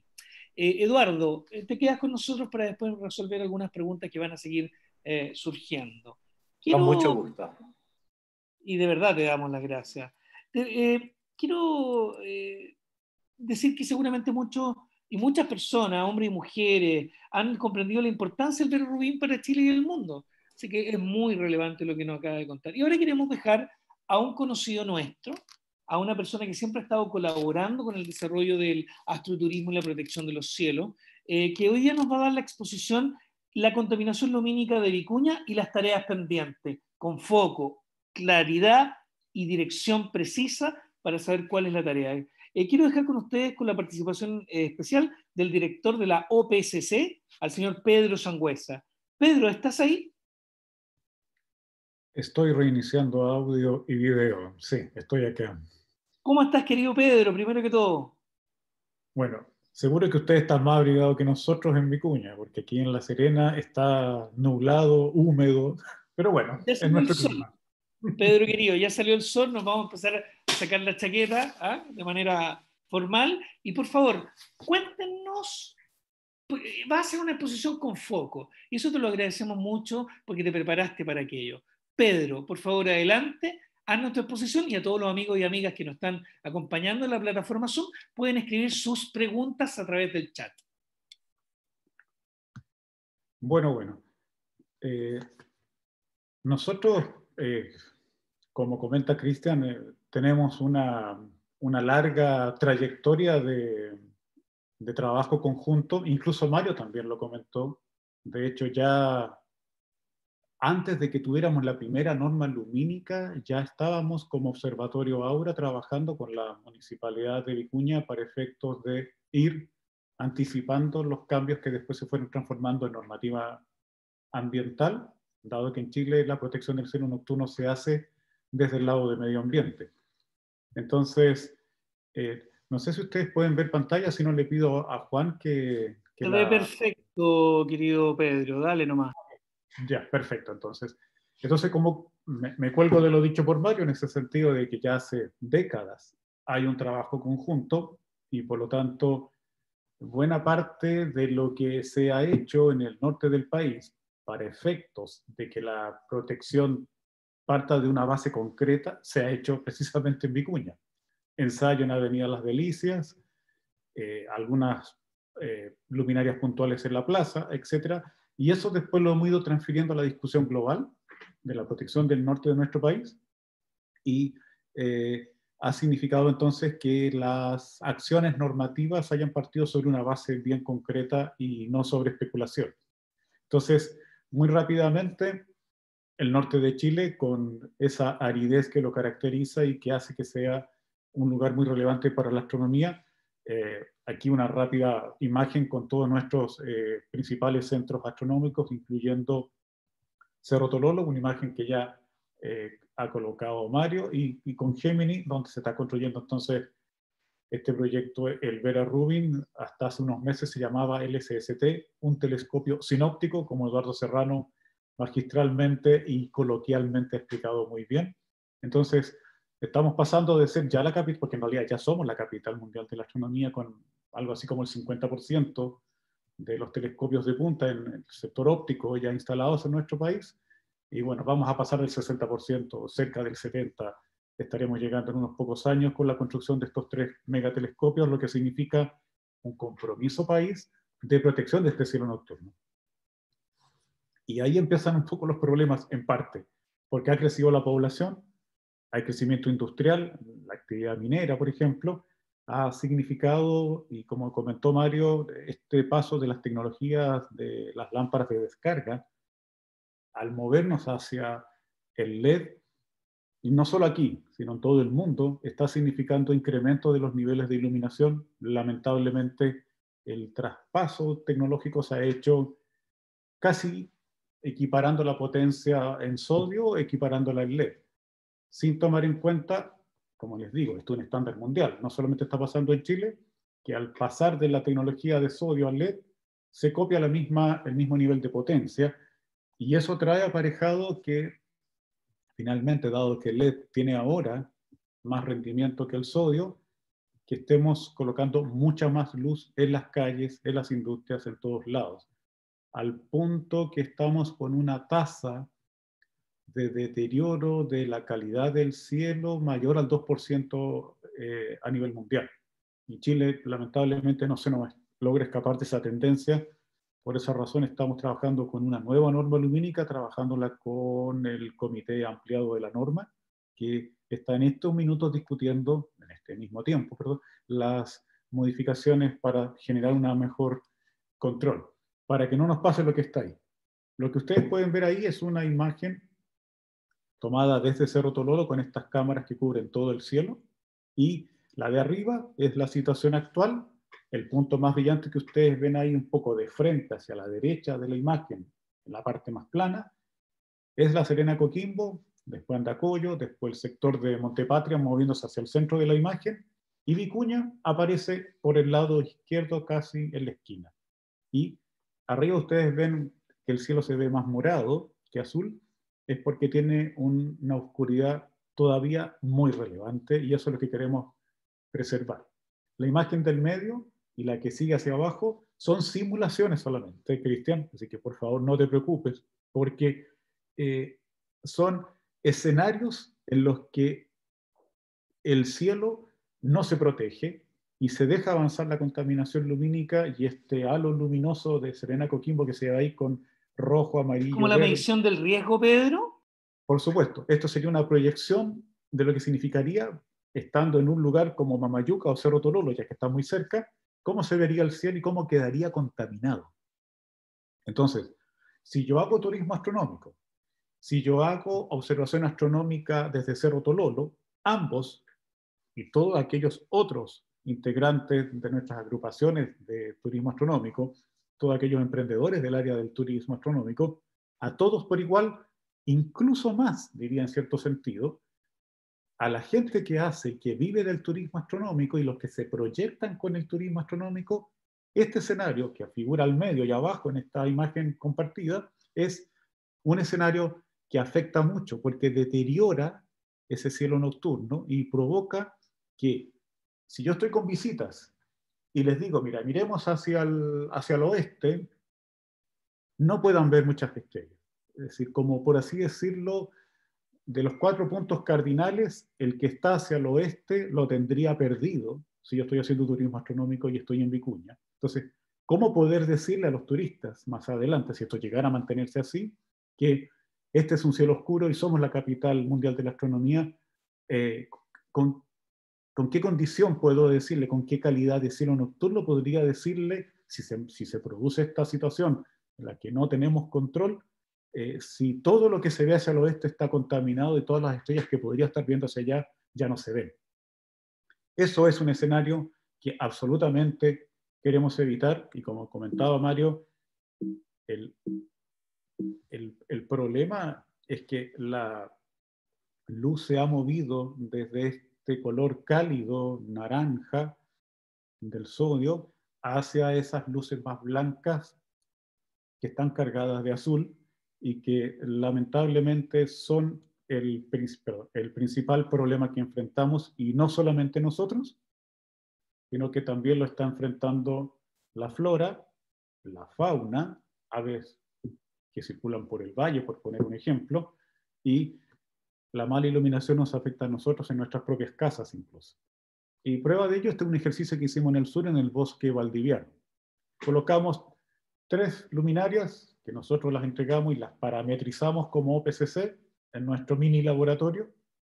En realidad es la bodega, pero lo que hacemos es tapar todas las fuentes de luz para que no haya nada desde afuera ni reflejos interiores y los, testeamos los equipos y después los mandamos entonces al sur para que le hicieran pruebas y se prendieron de noche en una zona de paso de polillas, principalmente, otras especies también, un foco muy naranja, que el que está hacia la izquierda, al medio uno de color eh, blanco cálido, que sería lo que permite la actual norma lumínica, y hacia la derecha al fondo una fuente de luz fría.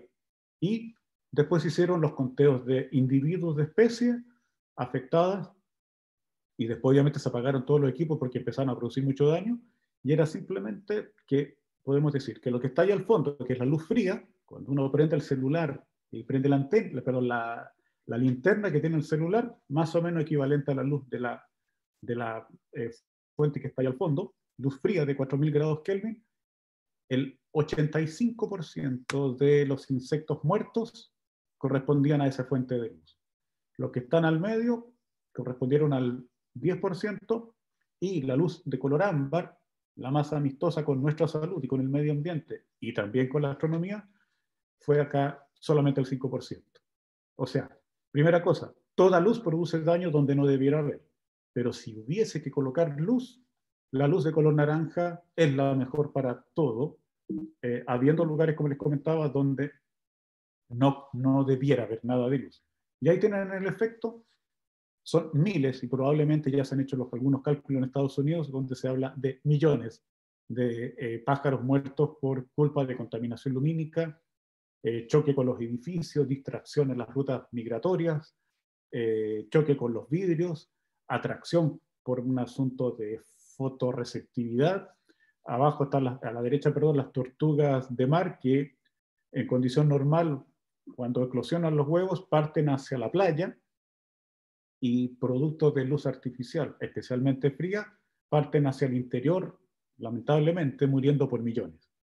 Entonces, eh, esto es en el norte del país. Entre marzo y abril se han medido 20.000 golondrinas de mar muertas por culpa de la contaminación lumínica. Lamentablemente se colocaron eh, focos en un par de industrias justo, justo por una zona de paso de esta especie y la mortandad está lamentablemente evaluada en esa cantidad, 20.000, en ese puro lugar.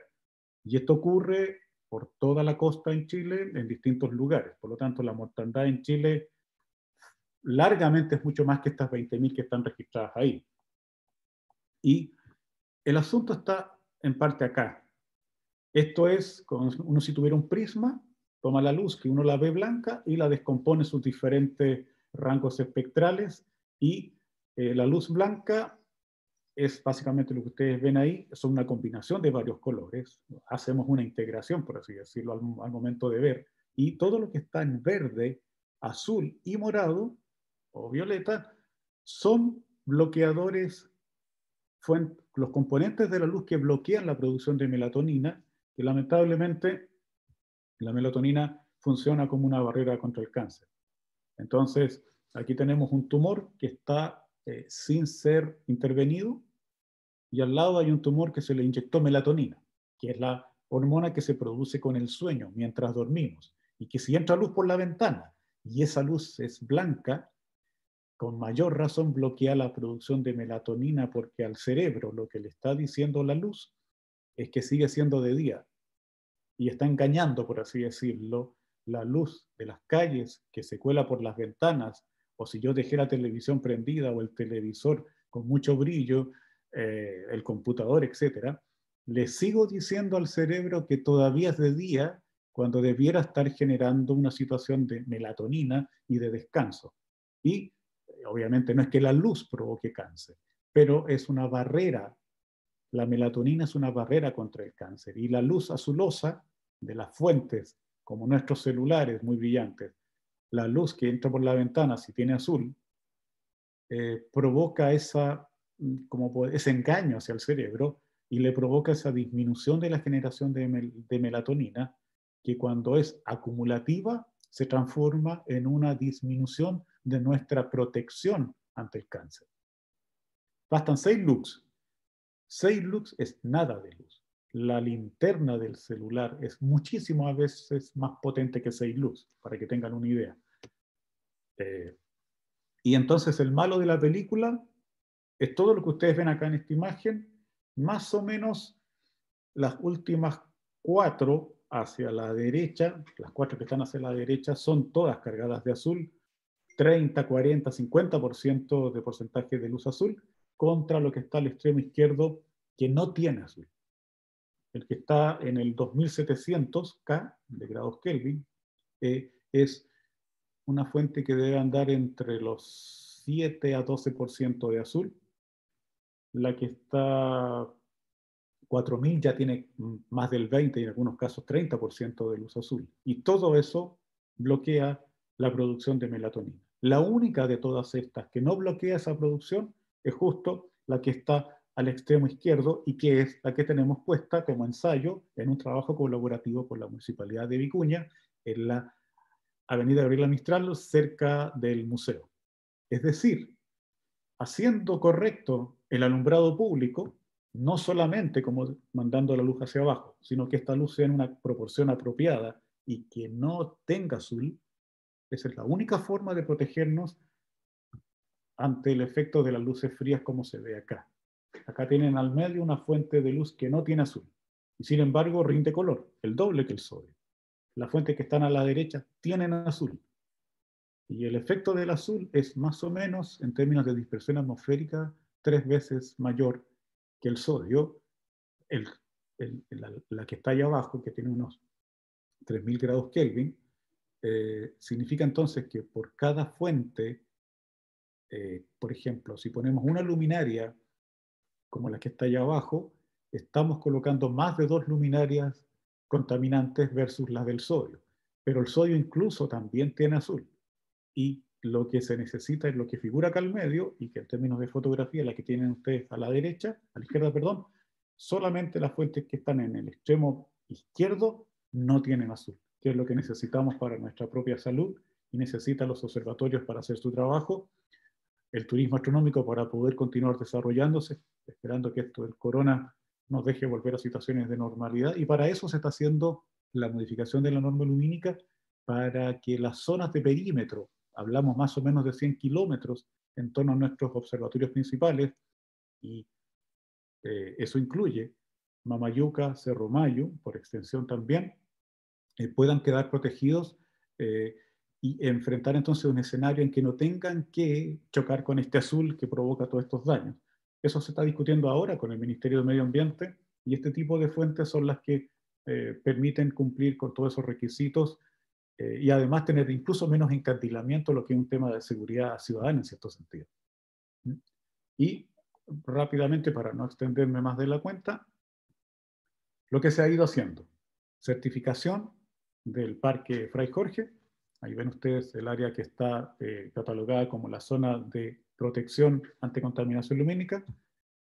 Eh, otros ejemplos, en el caso de la región de Antofagasta, tres sitios que ya están eh, certificados Starlight, aparte el que comentó Mario, que es el, recinto de Aura, donde además se hace una protección ambiental del lugar, y eh, para convencer al Ministerio de Medio Ambiente y a las otras autoridades que están involucradas en la revisión de la norma de que esta tiene que cubrir todo el país, Hemos hecho mediciones del brillo del cielo y demostrado que lugares como el Parque Patagonia, eh, el Parque Pumalín, incluso eh, el Parque de Torres del Paine, eh, cuando no hay nubes, nos han mostrado una oscuridad espectacular que, que tiene que ser aprovechada. Así que producto de este tipo de mediciones y de este tipo de trabajo, la norma lumínica que viene, que esperamos que esté durante el próximo el primer semestre del próximo año, debiera cubrir todo el país en una primera versión en la que controla el azul y en estas zonas donde se hace trabajo astronómico y donde se hace turismo astronómico con mucha mayor protección y todas las áreas silvestres protegidas también van a contar con esa protección. Nosotros quisiéramos ir un poco más allá y que sea además el perímetro de las, de las áreas silvestres protegidas, pero ya ya estamos avanzando en, por lo menos los parques, las reservas, los monumentos, etcétera, queden con algún grado de protección. Porque se reconoce que aquí hay un asunto de salud pública, un componente ambiental que no se está estudiando en Chile demasiado, pero que ya en otros países tiene bastantes años de trabajo, demostrando la multiplicidad de especies que están siendo afectadas por la contaminación lumínica y obviamente para el desarrollo a largo plazo de proyectos tan espectaculares como el Vera Rubin que presentó Eduardo y que anticipó Mario en su presentación inicial. Gracias, Cristian. Bueno, quiero darte primero que todo las gracias, Pedro, por la claridad de la exposición, por la preparación especial, porque hay temas que ya manejábamos, pero mirar el riesgo que representa para nuestro patrimonio no solamente genera confianza, o sea, conciencia, sino que nos hace cargo de cómo podemos enfrentar.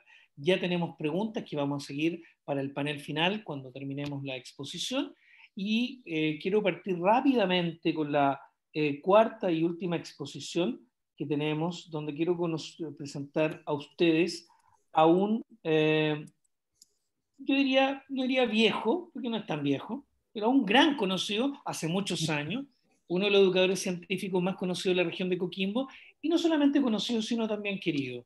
Tenemos el desafío por delante de conocer un poco más con, con algo nuevo. Eh, me sorprendió cuando hicieron la propuesta de este tema. Eh, la exposición que viene a continuación tiene que ver con una campaña, eh, con el Globe at Night, octubre, con la participación de nuestro educador científico ya algo identificado por usted, que de Northern Lab, que es Juan Seguel, ingeniero mecánico y un hombre que nos asesora a todos, que nos acompaña a todos en los desafíos del astroturismo. La red de astroturismo de Vicuña en particular está muy agradecida con él por su calidad humana. Así que, ¿estás por ahí, Juan? Sí, Cristian, muchas gracias. Aquí estoy justamente escuchándote. Muchas gracias por, por, la presentación. Quedé corto, ¿ah? Quedé corto, lo digo muy en serio a quienes no tienen el gusto y el placer de conocerlo, quedé corto porque su calidad humana es algo que siempre, siempre nos ha invitado a construir. Juan, cuéntenos de qué se trata esta sorprendente campaña que no la, no la teníamos en conocimiento. Bueno, justamente lo que es eh, Global Night es una campaña de ciencia ciudadana y la idea, voy a empezar a compartir pantalla, de, es conversar en los siguientes 15 minutos, 20 minutos, que es lo que, el espacio que me voy a, me, voy a acotar, es em, acerca de cómo proteger, cómo proteger justamente estos, estos lugares oscuros que nosotros tenemos alrededor y en particular em, Vicuña cómo podemos proteger eh, el territorio donde ustedes eh, están, donde ustedes viven y desarrollan tanto su vida em, personal como laboral, eh, especialmente los que desarrollan, por ejemplo, actividades astroturísticas. ¿ya? Y justamente Global Night es una campaña de ciencia ciudadana que persigue eso, no solamente el medir la contaminación lumínica, sino que también el poder preservar estos espacios y sin ningún tipo de instrumentación, sino que utilizando el ojo eh, de cada uno de ustedes podemos medir la contaminación lumínica y de esa manera también saber cómo estamos, que es algo que también es, una gran pregunta, eh, aunque como observatorio, como observatorio de aura, nosotros, eh, y como mostró Pedro ahí, tenemos equipamiento para poder medir la contaminación lumínica y modelarla. Em, a veces eh, los que trabajan en astroturismo no tienen las herramientas ni los equipos para poder hacerlo, eh, que requieren por supuesto una inversión. Pero a través de esta campaña que les voy a explicar, ustedes solamente utilizando sus propios ojos pueden, y observando por supuesto el cielo nocturno, pueden medir la contaminación lumínica. ¿ya? Mario eh, y Eduardo y también Pedro ya hablaron de los observatorios de aura, solamente los recuerdo a, a quienes se han integrado. Eh, los observatorios de aura en Chile están integrados por el Observatorio de Cerro Tololo, por Gemini Sur, por el telescopio SOAR y por el telescopio que está en construcción, que es el Vera C. Rubin. ¿ya? Esos son, componen en Chile eh, a, los observatorios de aura y eh, también nuestra organización que se, que se está fusionando, que se llama NOIRLAB. ¿ya? Y esto que estaba recién conversando Pedro, acerca de la contaminación lumínica. Eh, esta imagen es una imagen tomada desde la cumbre de Cerro Tololo, pero mirando hacia el sur, ¿ya? No mirando hacia la Serena y Coquimbo, eh, sino mirando hacia el sur. Ustedes ven eh, aquí justamente, esto es Ovalle, acá está Montepatria y el Valle de Río Hurtado, ¿ya? Las, los, como mencionaba también Pedro, los halos luminosos generados por las ciudades se ven a kilómetros de distancia. Aquí estamos mirando, eh, por ejemplo, Ovalle, que está en línea recta a 80 kilómetros de nosotros, y otras localidades. Entonces, eh, se genera, a pesar de estar bastante lejos, estos halos luminosos y que nos van afectando. Eh, hay que mencionar también aquí que aquí hay neblina, por eso el halo no se ve tan grande. En un día despejado se nota un poco más. Entonces, ¿cómo podemos cuidar? ¿Cómo podemos preservar estos espacios? Y aquí entra una campaña que nosotros como observatorio iniciamos el año 2006 muy tímidamente. Es una campaña que se desarrolla a nivel mundial y que se llama Global Night. ¿Ya? Global Night es una campaña de ciencia ciudadana. ¿qué, ¿cuál es el objetivo? Justamente aprender del impacto de la iluminación artificial en los lugares donde nosotros vivimos, en la ciudad, en el campo, en las localidades. Y cómo, eh, cómo podemos también eh, comprender la pérdida del cielo nocturno como fuente de recurso natural para muchos habitantes. No solamente eh, para poder observar el cielo, sino también en el caso muy particular de Vicuña, hay mucha de la actividad económica que se desarrolla en torno al astroturismo que vive justamente del cielo, del cielo nocturno, ¿ya? de este recurso natural. Bueno, eh, nosotros, y aquí hablamos de todos nosotros, incluyéndome, nos convertimos en ciudadanos científicos a registrar el brillo del cielo nocturno. Y comparando la apariencia de ese cielo, comparándolo con eh, un área del cielo bien particular, no es que miremos todo el cielo, sino que nos enfocamos en un, sector del cielo que es, en este caso, para eh, el caso de octubre, noviembre, diciembre, la constelación de la grulla. ¿Ya? Y para eso utilizamos eh, algo que se llaman cartas celeste con diferentes límites de magnitud con los cuales nosotros podemos medir eh, la contaminación lumínica utilizando nuestros ojos. Ahora, ¿qué materiales necesito para poder hacer esta medición? ¿Ya? ¿Qué es lo que porque ya les mencionaba, esto es como un taller, mini taller dentro de este eh, seminario. Bueno, para yo poder realizar esta campaña, necesito, primero, ropa abrigada, porque voy a hacerlo de noche, independiente de la época del año. Linterna con luz roja, ¿ya? Eh, si no tienen una linterna con luz roja, se la pueden hacer simplemente tomando, por ejemplo, un par de hojas de papel celofán. Eh, le ponen como tres capas, eh, lo recortan para colocarlo en la parte de adelante de la, de, por donde sale la luz de su linterna y con una banda elástica simplemente la amarran y con eso se hacen una linterna de luz roja. No necesitan comprar exactamente una linterna de luz roja, se la pueden hacer. ¿ya? Y lápiz y la guía de actividades que yo después les voy a copiar en el chat. Esta guía de actividades para que ustedes la puedan bajar. ¿ya? Esos son los materiales que se necesitan. Nada sofisticado, aparte de la linterna con luz roja. ¿Por qué? Porque luz roja, porque bueno, eh, las personas eh, cuando salen afuera y utilizan luz blanca, los ojos se encandilan y el tiempo de encandilamiento de una persona en luz blanca es de 15 minutos. En cambio, con luz roja uno igual se encandila, pero el tiempo de encandilamiento es solamente de 2 minutos. Por eso se utiliza luz roja. ¿ya? Y por eso también, muchos de ustedes saben que las actividades astroturísticas se utilizan linterna roja. Todos los que trabajan en astroturismo también lo saben y lo conocen, y esa es la razón. Ahora, ¿cómo hacemos las mediciones? ¿Ya? O sea, perdón. Perdón, ¿cuándo hacemos las... ¿Salté un slide? Ahí sí. ¿Cuándo, hacemos las mediciones? Perdón. ¿Cuándo hacemos? Estabas avanzando más rápido. Eh, las mediciones las podemos hacer todos los meses. Hay fechas específicas para realizar las mediciones. Por ejemplo, ahora en octubre es del 9 al 17, así que todavía estamos dentro de la campaña del mes de octubre. Las mediciones tienen que ver con la fase lunar eh, en la que estamos y corresponde en este caso eh, desde el cuarto menguante hasta la luna nueva. En ese periodo la luna no está presente en la primera parte de la noche, la luna aparece como a la 1, 2, 3 de la mañana en adelante en este periodo y a veces no aparece toda la noche, especialmente si vamos llegando ya al 16, 17 de octubre, que es el caso particular que le estoy mencionando ahora. ¿Ya?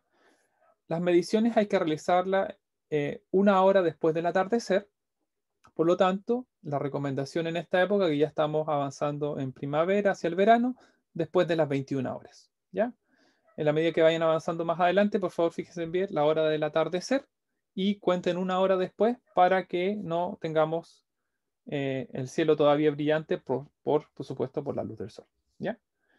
Entonces, esas son las fechas para realizar las mediciones. No es cualquier día, no, es un periodo particular del mes. En el paso particular de octubre es del 9 al 17 y yo les voy a dejar después el link en el chat de donde pueden buscar las siguientes fechas que para noviembre y diciembre y realizarlo una hora después del eh, justamente del atardecer. Ahora, ¿cómo hacemos las mediciones? ¿Ya? Ya les dimos los materiales, ¿ya? Eh, el cuándo hacerlo, cómo lo hacemos. Llevo mis materiales, la ropa abrigada, la linterna roja, eh, el lápiz y la guía de actividades, ubicamos el lugar más oscuro en el patio de mi casa, porque obviamente estamos en una condición de pandemia, eh, entonces no es que los vaya a hacer salir fuera de su casa en un horario en que podría haber restricciones para hacerlo, por toque de queda. Entonces simplemente las hacemos desde el patio de nuestra casa. Pero en el caso del patio de la casa, tratemos de ubicar el lugar más oscuro, no aquel, por ejemplo, donde le llega justamente una luminaria. Tampoco tengamos encendidas las luces exteriores de nuestro hogar cuando hagamos las mediciones. Por favor, apáguenlas. Igual que cualquier luz que dé hacia el patio, traten de mantenerlas apagadas, cosa de tratar de medir en una condición lo más natural posible.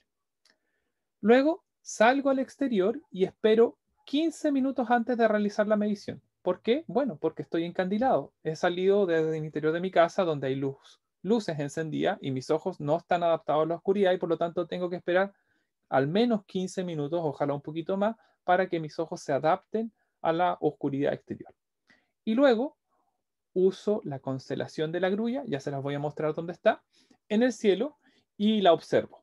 No es que cuente las estrellas, no. Hago simplemente ah, una comparación de la cantidad de estrellas que yo alcanzo a ver, como la, hasta la última estrella que puedo ver a simple vista, haciendo un poquito de esfuerzo, esa que apenas se ve con el rabillo del ojo, y después la registro, ya les voy a decir dónde, en la guía actividad.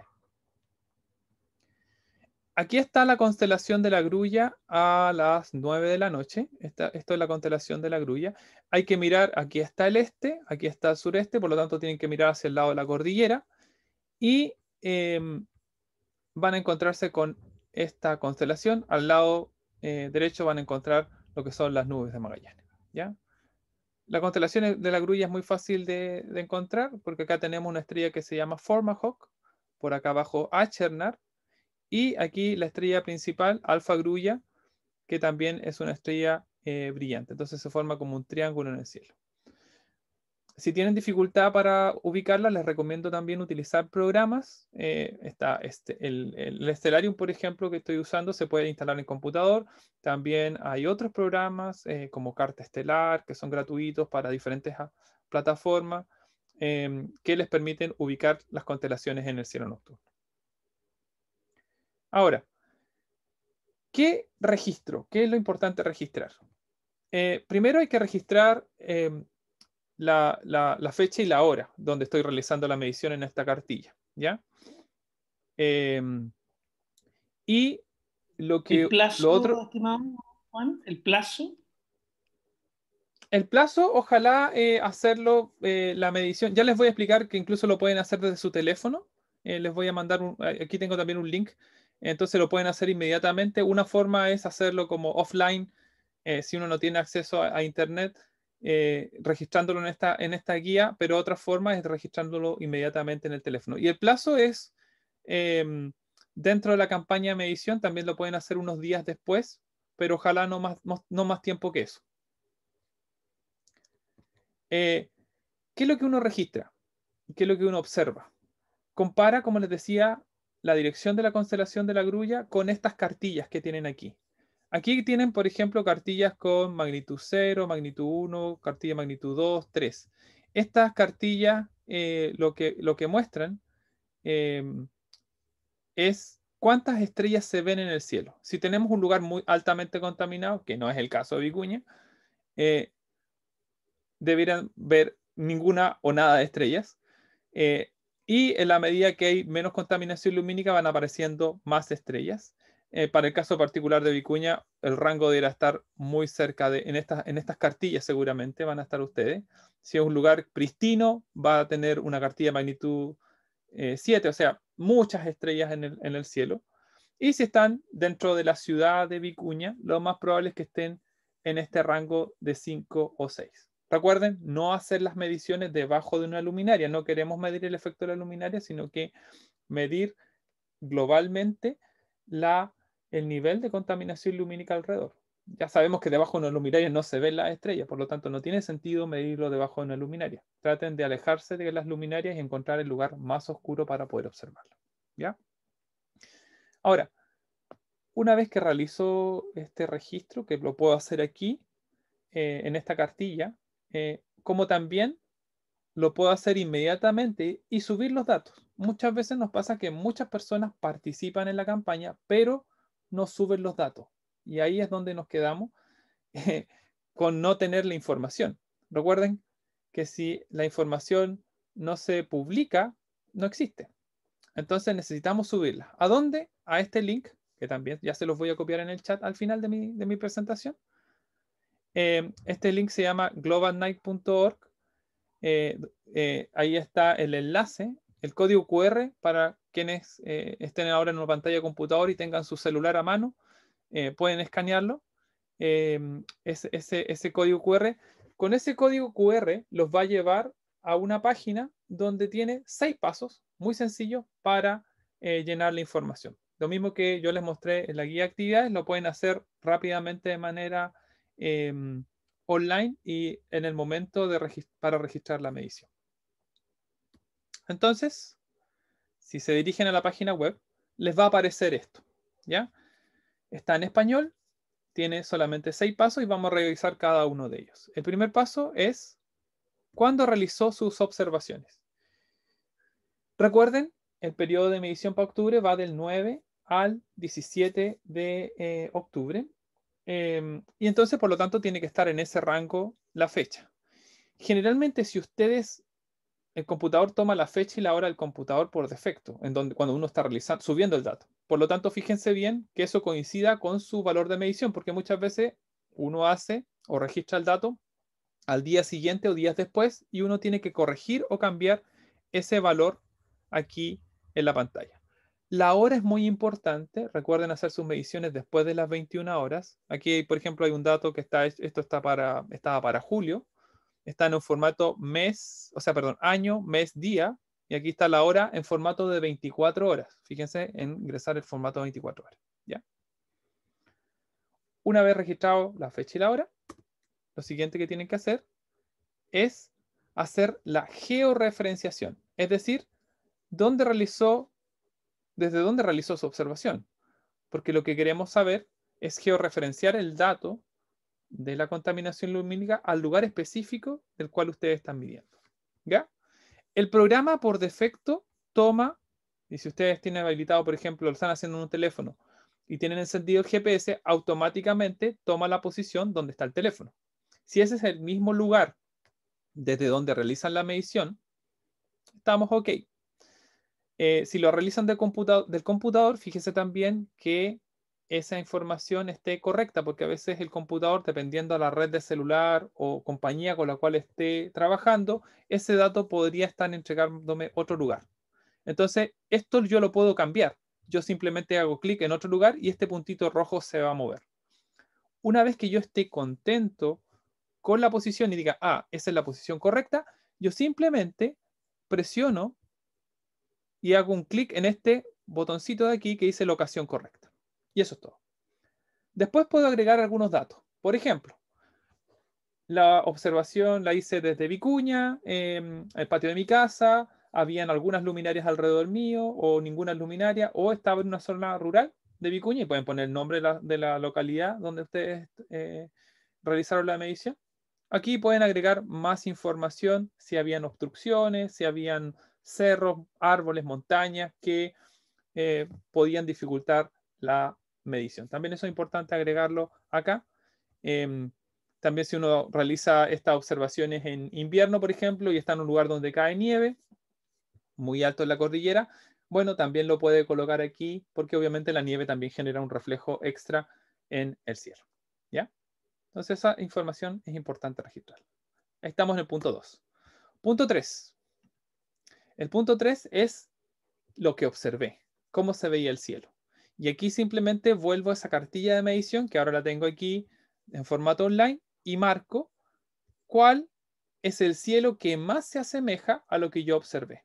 ¿ya? Por eso es importante registrarlo ya sea la cartilla de medición o si pueden hacerlo directamente en el celular, recuerden bajarle mucho el brillo a su celular para que no se encandilen y así eh, poder hacerlo.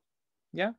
También el, em, y aquí van, perdón, aquí solamente hacen clic en el espacio que más se asemeja y van a tener un cambio aquí en las estrellas que están observando.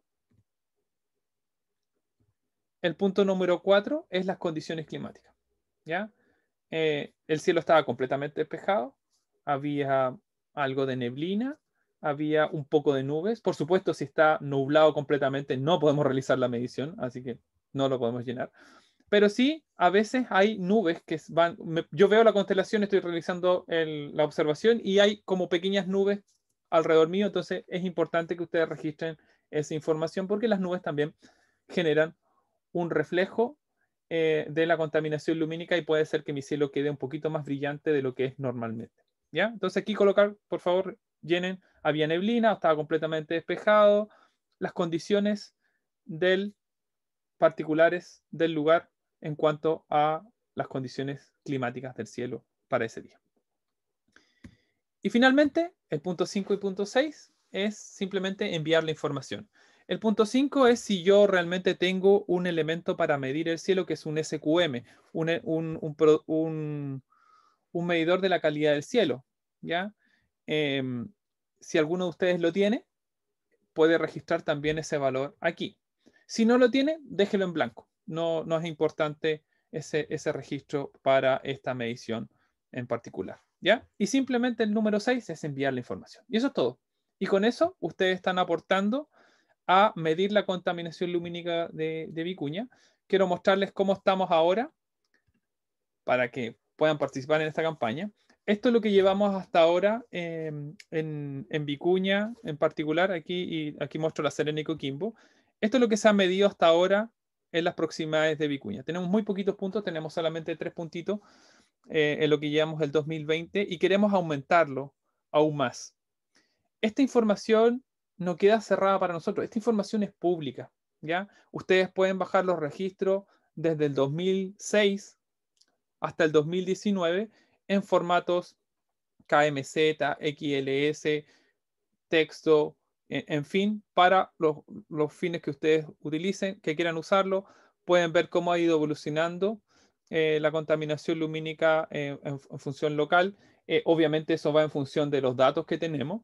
Por eso es importante que puedan registrar y constantemente, no solamente participen en esta campaña particular de octubre, noviembre, diciembre, sino que sigan participando porque esto les va a servir a ustedes para saber cómo están, cómo está el nivel de contaminación lumínica y también eh, el preservar los lugares que ustedes tienen alrededor para el desarrollo del astroturismo, como también el de la observación natural del cielo y también, por supuesto, el desarrollo científico que se desarrolla aquí en la comuna de Vicuña. ¿ya? Por eso es importante, los invito a participar a esta campaña eh, y agradecerles con eso, darles las gracias por su atención de, em, escucharme eh, en, este, en este seminario. Muchas gracias, primero que todo, Juan. Es un agrado poder escucharte, verte y ver esta iniciativa que tiene mucho de construcción de ciudadanía en torno al amor, al aprecio, el respeto y el cuidado y protección de nuestro patrimonio como es el cielo. Eh, yo creo que estamos convencidos absolutamente eh, que muchas personas podrán abrir eh, cuando estimen conveniente, la transmisión en YouTube y Facebook Live. Y con quien estamos en la plataforma Zoom, vamos a realizar algunas preguntas que ya tengo registradas aquí en el libreto, porque estamos convencidos que Aura es también parte de la historia de Vicuña, estamos convencidos que la historia de Vicuña también se escribe con Aura y junto a nuestra red de emprendedores astroturísticos debemos seguir trabajando porque Vicuña se transforme paso a paso en la capital mundial de la astronomía. Quiero saber si se encuentra aún con nosotros Mario Muy. Mario, ¿estás por ahí? Aquí estamos, escuchando muy atentamente. Muchas gracias, Mario, por estar todo el tiempo junto a nosotros. Mario, tenemos dos preguntas. ¿Cuáles han sido los descubrimientos más relevantes en los que han participado astrónomos y los telescopios de Aura? Y la segunda pregunta, ¿cómo se puede seguir construyendo una relación más estrecha con la comunidad de Vicuña? Muy bien. Eh, ¿Puedo compartir pantalla? Aún eres confitrión y aún puedes sí, por Mira, eh, respecto a la. ¿Se ve ahí la imagen del telescopio Víctor Blanco con el fondo brillado? Bueno, mira, esta es una imagen tomada desde Tololo eh, con un detector digital de campo amplio, una cámara fotográfica de campo amplio. Y yo creo que ilustra eh, los grandes, las grandes ventajas y los grandes atributos que tiene el observatorio eh, de Aura en Chile. aquí estamos viendo esta franja difusa que es parte de la Vía Láctea, nuestro hogar galáctico. Aquí está la Cruz del Sur, Aquí está Alfa Centauro, la estrella más cercana después del Sol a cuatro años luz. Y aquí tenemos 200 mil millones de estrellas que conforman nuestra galaxia, las estrellas de nuestra galaxia mezcladas con smog interestelar, que se ve como esta franja, esta mancha oscura. Eh, y se ve algo también súper interesante que ustedes en Vicuña están muy acostumbrados a ver en las noches oscuras, en las noches eh, sin luna, em, la nube grande Magallanes y la nube pequeña. Estas dos galaxias eh, se ven, están cargadas hacia el sur en el cielo. Eh, no se pueden observar desde el hemisferio norte. Por lo tanto, para observarlas bien hay que estar en el hemisferio sur y, y tenemos el privilegio de poder hacerlo desde el Cerro Tololo de manera privilegiada. Ahora, ¿por qué son importantes? Porque estas galaxias eh, son externas a la Vía Láctea. De partida, solo mirarlas es emocionante porque cuando uno las ve sin la ayuda de un telescopio, lo que uno está viendo son estrellas de otra galaxia, a simple vista. Estrellas que, cuya luz ha viajado 160.000 años para llegar a nosotros. Eh, por lo tanto, el observatorio Aura, eh, desde los laboratorios estelares, galaxias externas a la nuestra, con propiedades distintas, eh, y en particular quiero destacar el trabajo de René Méndez de la Universidad de Chile. Eh, lo que ha hecho René con sus colaboradores es utilizar los telescopios del observatorio Aura para medir el movimiento transversal en el cielo de esta galaxia. Eh, y eso requiere una precisión superlativa. Y, lo han logrado hacer. Eh, con mucha paciencia, después de muchos años, han logrado medir el pequeño movimiento transversal que tiene esta galaxia. Y con eso han logrado determinar sus órbitas, han logrado determinar la masa que tienen estas galaxias eh, y, y, saber también y, entender también su origen, su naturaleza y cómo han evolucionado. Así que ahí hay un tremendo aporte del Observatorio Aura en el estudio de las dos nubes de Magallanes. Y, en lo que, ya, y hablando de las nubes de Magallanes, esta galaxia que está aquí, la nube grande, en 1987 nos trajo una tremenda sorpresa. Eh, la explosión de una supernova, una estrella que explota.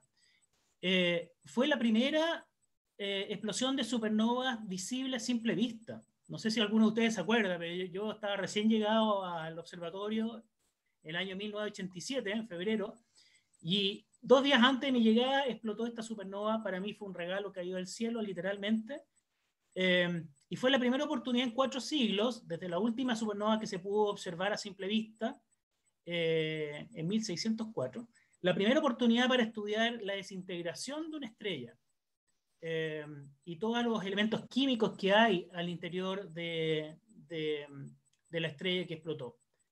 Eh, eso gatilló un interés en todo el mundo. Esta explosión de, de la supernova del año 1987 fue portada de los diarios más importantes de todo el mundo. Y gatilló un interés especial eh, entre los astrónomos de Cerro Tololo por, esta, por este tipo de objetos. Y, ahí, ahí fue el inicio de un estudio sistemático que hicimos con los astrónomos Mark Phillips, Nick Sansef del Cerro Tololo y el astrónomo José Massa de la Universidad de Chile para eh, hacer una búsqueda sistemática de supernovas y estudiarlas en gran detalle. Eso lo hicimos entre el año 89 y el año 93 y con ello logramos establecer eh, un método para medir distancia de manera muy, muy precisa a galaxias externas a las galaxias donde explotaban las supernovas. Y esa técnica permitió dos cosas. Uno, determinar el ritmo de expansión del universo eh, y saber eh, cuán rápido lo está haciendo. Y eso nos dice cuál es la edad del universo. Y en segundo lugar, eh, desde este, con este telescopio de 4 metros, hubo dos grupos de astrónomos que, con, una conformación internacional que se dedicaron a buscar supernovas en galaxias más lejanas y aplicaron la técnica que había establecido el proyecto Calanto Lolo para medir distancia. Y encontraron algo sorprendente en el año 1998. Eh, y lo sorprendente fue que, según lo que nos decía Einstein, el universo tenía que estar expandiéndose pero frenándose, porque las galaxias se atraen entre sí. Y lo que se descubrió en 1998 fue algo completamente opuesto. Eh, en vez de frenarse, el universo cada vez se expande más rápido. Y eso se llama la aceleración del universo. Se debe a una misteriosa energía oscura que está presente en el espacio, que constituye el 70% de lo que hay en el universo. Y fue, eh, ese descubrimiento fue el motivo del, otorgamiento del Premio Nobel de Física en el año 2011. Así que este telescopio, el telescopio Víctor Blanco del 4 metros, eh, sentó las bases para el estudio de las supernovas, eh, la técnica para medir distancias y llevó a las supernovas nada menos que a Estocolmo. Yo creo que ese es un resumen eh, un poquito cejado porque Excelente algo que resumen, pues. Excelente.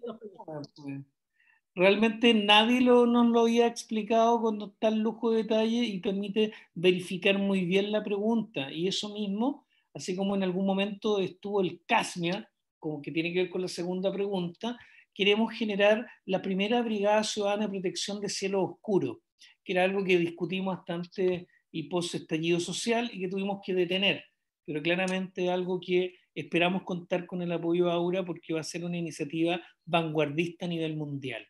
Pues bien, muchas gracias Mario por esa pregunta, eh, por responder esa pregunta. Y ahora para Eduardo, fíjate que hay una pregunta re específica, Eduardo, sobre tu exposición que dice, cuando habló acerca del láser del telescopio Gemini, no me queda claro respecto a la asociación que hizo respecto a las calibraciones. ¿Lo podrías explicar, Eduardo? Sí, sí. Bien, eh, Resulta bien interesante el tema de los famosos láser que despegamos hacia el cielo. Eh, y quiero ser muy didáctico en esto, eh, sin entrar en temas técnicos. Cuando uno toma un puntero láser, un puntero láser para una pizarra haciendo una clase en la universidad, ese puntero láser, en la medida que uno se va alejando de la pizarra, el haz de luz de ese puntero se va agrandando ¿Estamos de acuerdo con eso? ¿Estamos de acuerdo con eso?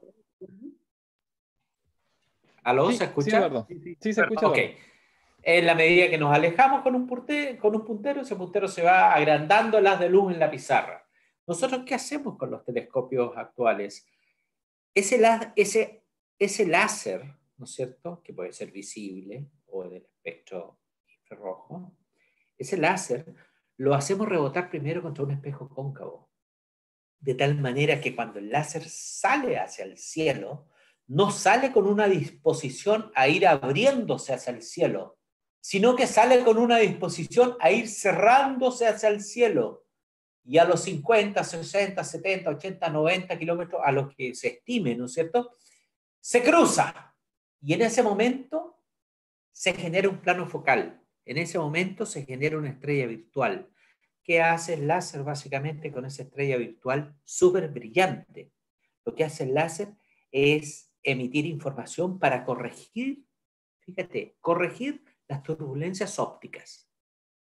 Esa es la misión del láser. Por otro lado, la misión del telescopio de calibración que nosotros tenemos es otra. El telescopio de calibración que comienza a observar antes del telescopio principal, lo que hace es ver cuánta luz que venía del espacio se absorbió en la atmósfera, de tal manera que el telescopio principal pueda calibrarse e iniciar con esos parámetros las observaciones. Esa sería como una respuesta y espero que se haya entendido. Eh, uno de los grandes, eh, yo quisiera mencionar algo acá muy sencillo, que uno de los grandes eh, desafíos de la astronomía en general es tener los puntos de referencia para medir las distancias. Cuando hablamos de 5 años luz, 7 años luz, 8 años luz o lo que sea, ¿no es cierto? Eh, los astrónomos tienen un gran desafío ahí en términos de decir, ¿por qué son 5 años luz? ¿Dónde está el punto de referencia para esas distancias? Eso es una cosa. Otro, lo otro importantísimo es ver, y a mí me ha tocado verlo, fíjate, cuando he salido, he tenido la suerte de salir a navegar en un yate, podemos hacer cartografía del fondo marino a través de sonares. ¿Qué cartografía podemos hacer del cielo más allá de lo que somos capaces de ver o más allá de los fotones de luz que nos llegan? Son preguntas para contestarse en un buen asado en el Valle de Elqui. Buenísima reflexión, Eduardo, te lo agradezco. Pero quedó bastante claro y espero que Javier Fuentes, quien hizo la pregunta, haya quedado satisfecho. Pedro, ¿estás por ahí? Porque tenemos eh, preguntas para ti. La primera es la alianza del Ministerio de Medio Ambiente y Ministerio de Ciencias. ¿Por qué no incorpora actores locales que son quienes deben liderar los cambios?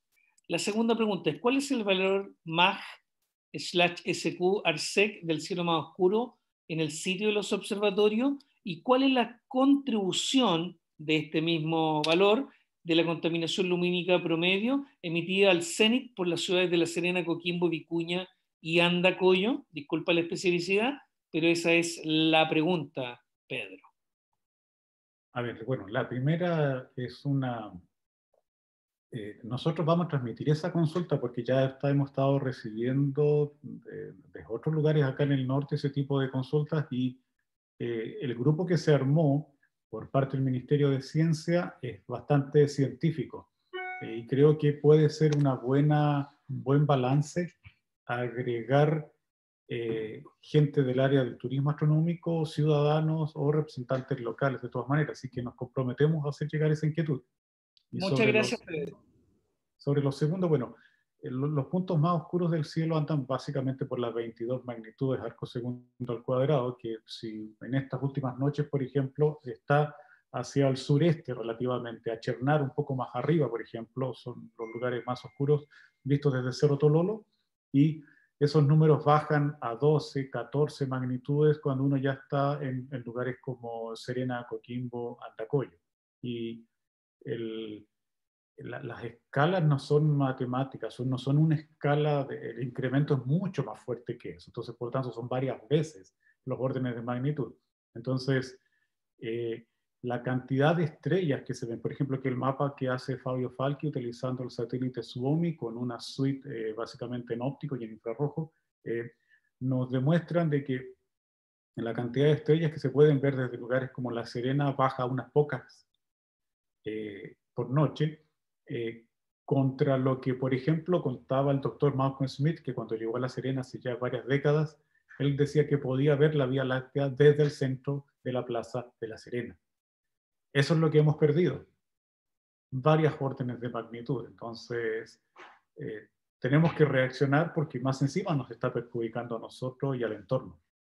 Imagínense que la luz de La Serena y Coquimbo fácilmente llega a 20 o 30 kilómetros mar adentro incluso eh, mucho más incluimos el azul. Y es la zona donde circulan las aves migratorias. Que van hacia es, es tremendo, Pedro. Es tremendo. Y aquí no hay dobles lecturas. Aquí tenemos que trabajar en una sola dirección. Con más fiscalización, con multa efectiva, con un trabajo coordinado, pero por sobre todo más empoderamiento de la ciudadanía. Que haga de esto una tarea pública. Por eso quiero conectar con lo que acabo de decir con nuestro eh, educador científico Juan Seguel, de NOIRLAB, para preguntarle, eh, estimado Juan, ¿es posible que podamos tener un taller específico con la red de astroturismo para poder abordar este desafío que tú has planteado? Y en segundo lugar, quería plantearte eh, cuán viable es que se puedan constituir brigadas científicas, o sea, brigadas de protección de cielo a nivel ciudadano y qué experiencia hay a nivel latinoamericano y a nivel mundial. Ok, eh, mira, con respecto a lo primero, em, sí, por supuesto, estamos, eh, estoy disponible para poder eh, realizar esta, em, nueva capacitación o taller con respecto a, la, campaña de Global Night. Así que sí, esa es la respuesta para, la primera pregunta. Em, con respecto a la segunda, hay experiencias de brigadas eh, de protección de los cielos en Andacoyo eh, em, hace unos, años atrás. Mm, y eh, en otros lugares en Latinoamérica no, no, desconozco si hay, existe, me imagino que podría haber en alguno, pero el caso más cercano que tenemos en particular es en Andacoyo. Ese es el caso más cercano. Conformada por estudiantes de, un colegio y liderada por eh, una... Em, em, ay, se me fue el nombre. Eh, ¿Profesor de ciencias? ¿Alguien de ese tipo? Sí, es, la, encargada del taller de astronomía em, de un colegio en Andacoyo. Oh, olvidé acabo de olvidar el nombre, lo tengo aquí en la, la punta de la lengua. Seguramente Leonor, Leonor que está en el chat me puede ¿Me puede escribir el nombre? Andrea, sí, Andrea. Gracias, gracias, muchas gracias, Andrea. Bueno, lo vamos, a, vamos a este trabajo, Juan. Sí, Andrea, eh, ella em, ha, trabajado con alumnos de octavo básico y enseñanza básica, porque el colegio es de básica, eh, justamente en la temática de una brigada de protección de los cielos. Bueno, y el insumo es justamente este, el, de la, el, el de participar en la campaña, recolectar datos, eh, generar estos mapas, por ejemplo, de, digamos, desde los ciudadanos. Eh, y lo otro es también, a partir de esos mapas, ¿qué hacemos? ¿Qué hacemos? Eh, hay otras experiencias, por ejemplo, también en, la comuna de Los Vilos, pero no como una brigada, sino como trabajos más del índole científico en cuanto llevados por, por Explora, por ejemplo, con algunos estudiantes eh, de, liceo, en que han hecho aportes bien interesantes en esta, en esta temática. Pedro, tú conoces justamente a Javiera, por ejemplo, que, que, es una estudiante que ya egresó de allá del, Liceo de los Vilos, del Federico Loce, y que, que justamente hizo, em, le dio muchas vueltas, o sea, desde la visión de ellos, de estudiantes, eh, han, contribuido bastante a, despertar, por ejemplo, comunidades, por ejemplo, en el caso particular de los vilos. Así que, por supuesto, eh, yo creo que este tipo de campañas contribuyen también a despertar a la comunidad, eh, no solamente a los adultos, sino que también a los niños funcionan principalmente y también incluirlo en esta mirada de, este mundo de la, de la estrella. Excelente, Juan, esta respuesta que nos has planteado, porque no queremos nunca partir de cero. Lo bueno se copia, lo bueno se trabaja en comunidad, lo bueno se aplica con el menor tiempo posible. Quiero decir a los expositores, em, a nuestro destacado Premio Nacional de Ciencias Exactas y director Aura, Mario Amuy, Eduardo Vergara, nuestro site manager de Vera Rubín, a Pedro ¿ah? Sangüesa, nuestro amigo de la OPCC, y a nuestro divulgador científico en Lab, don Juan Seguer, les quiero dar infinitas gracias. Al equipo de la Corporación Municipal de Turismo de Vicuña, al equipo completo de Aura Noir Lab, ahí sumamos a la Leito Leonoro Paso y a Manuel Paredes, eh, y también, por supuesto, a todos y todas quienes nos han seguido en esta plataforma Zoom y nos van a seguir en las plataformas digitales una vez que descarguemos el video y lo publiquemos y vamos a hacer una campaña específica para que lleguen muchas, pero muchas personas. Queremos seguir juntos.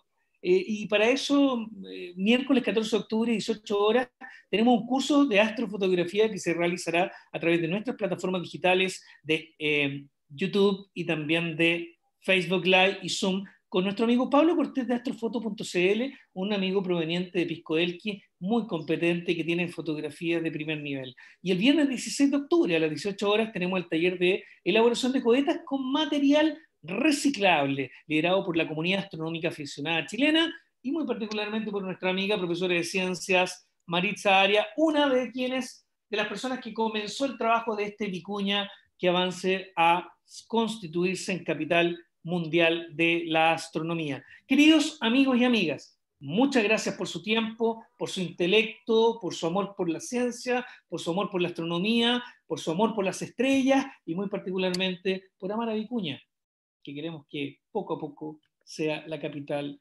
mundial de la astronomía. Sigan viviendo y sintiendo el mes de las estrellas. Nos vemos en una próxima ocasión. Y Mario, tus palabras de despedida de este seminario, por favor.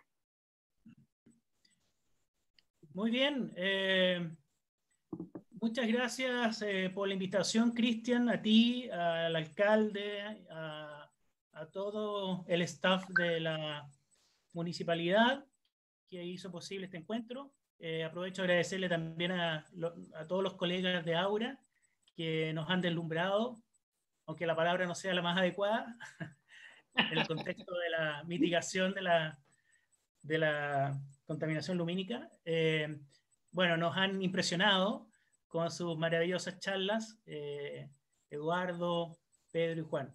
Y simplemente quisiera expresar la tremenda satisfacción que significa para nosotros como Observatorio Aura eh, estar trabajando muy cercanamente con el municipio, con la comuna que nos ha albergado por 60 años y estamos, eh, estaremos siempre disponibles para eh, colaborar en todo aquello que nos convoca en nuestras visiones compartidas. Así que termino simplemente con un, palabras de mucho agradecimiento para que sigamos perseverando en esta senda que nos une.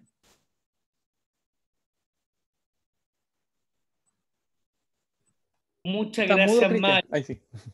muchas gracias, Mario. Y como dijimos, estamos convencidos que Aura es también parte de la historia de Vicuña y estamos convencidos a su vez que la historia de Vicuña también se escribe con Aura. Y junto a nuestros emprendedores astroturísticos vamos a seguir trabajando porque Vicuña se transforme paso a paso en la capital mundial de la astronomía. Muchas gracias, saludos virtuales a todos y que tengan un lindo, pero lindo, hermoso resto de día. Que estén muy bien. Gracias a todos, cuídense. Adiós. Muchas gracias. Muchas gracias.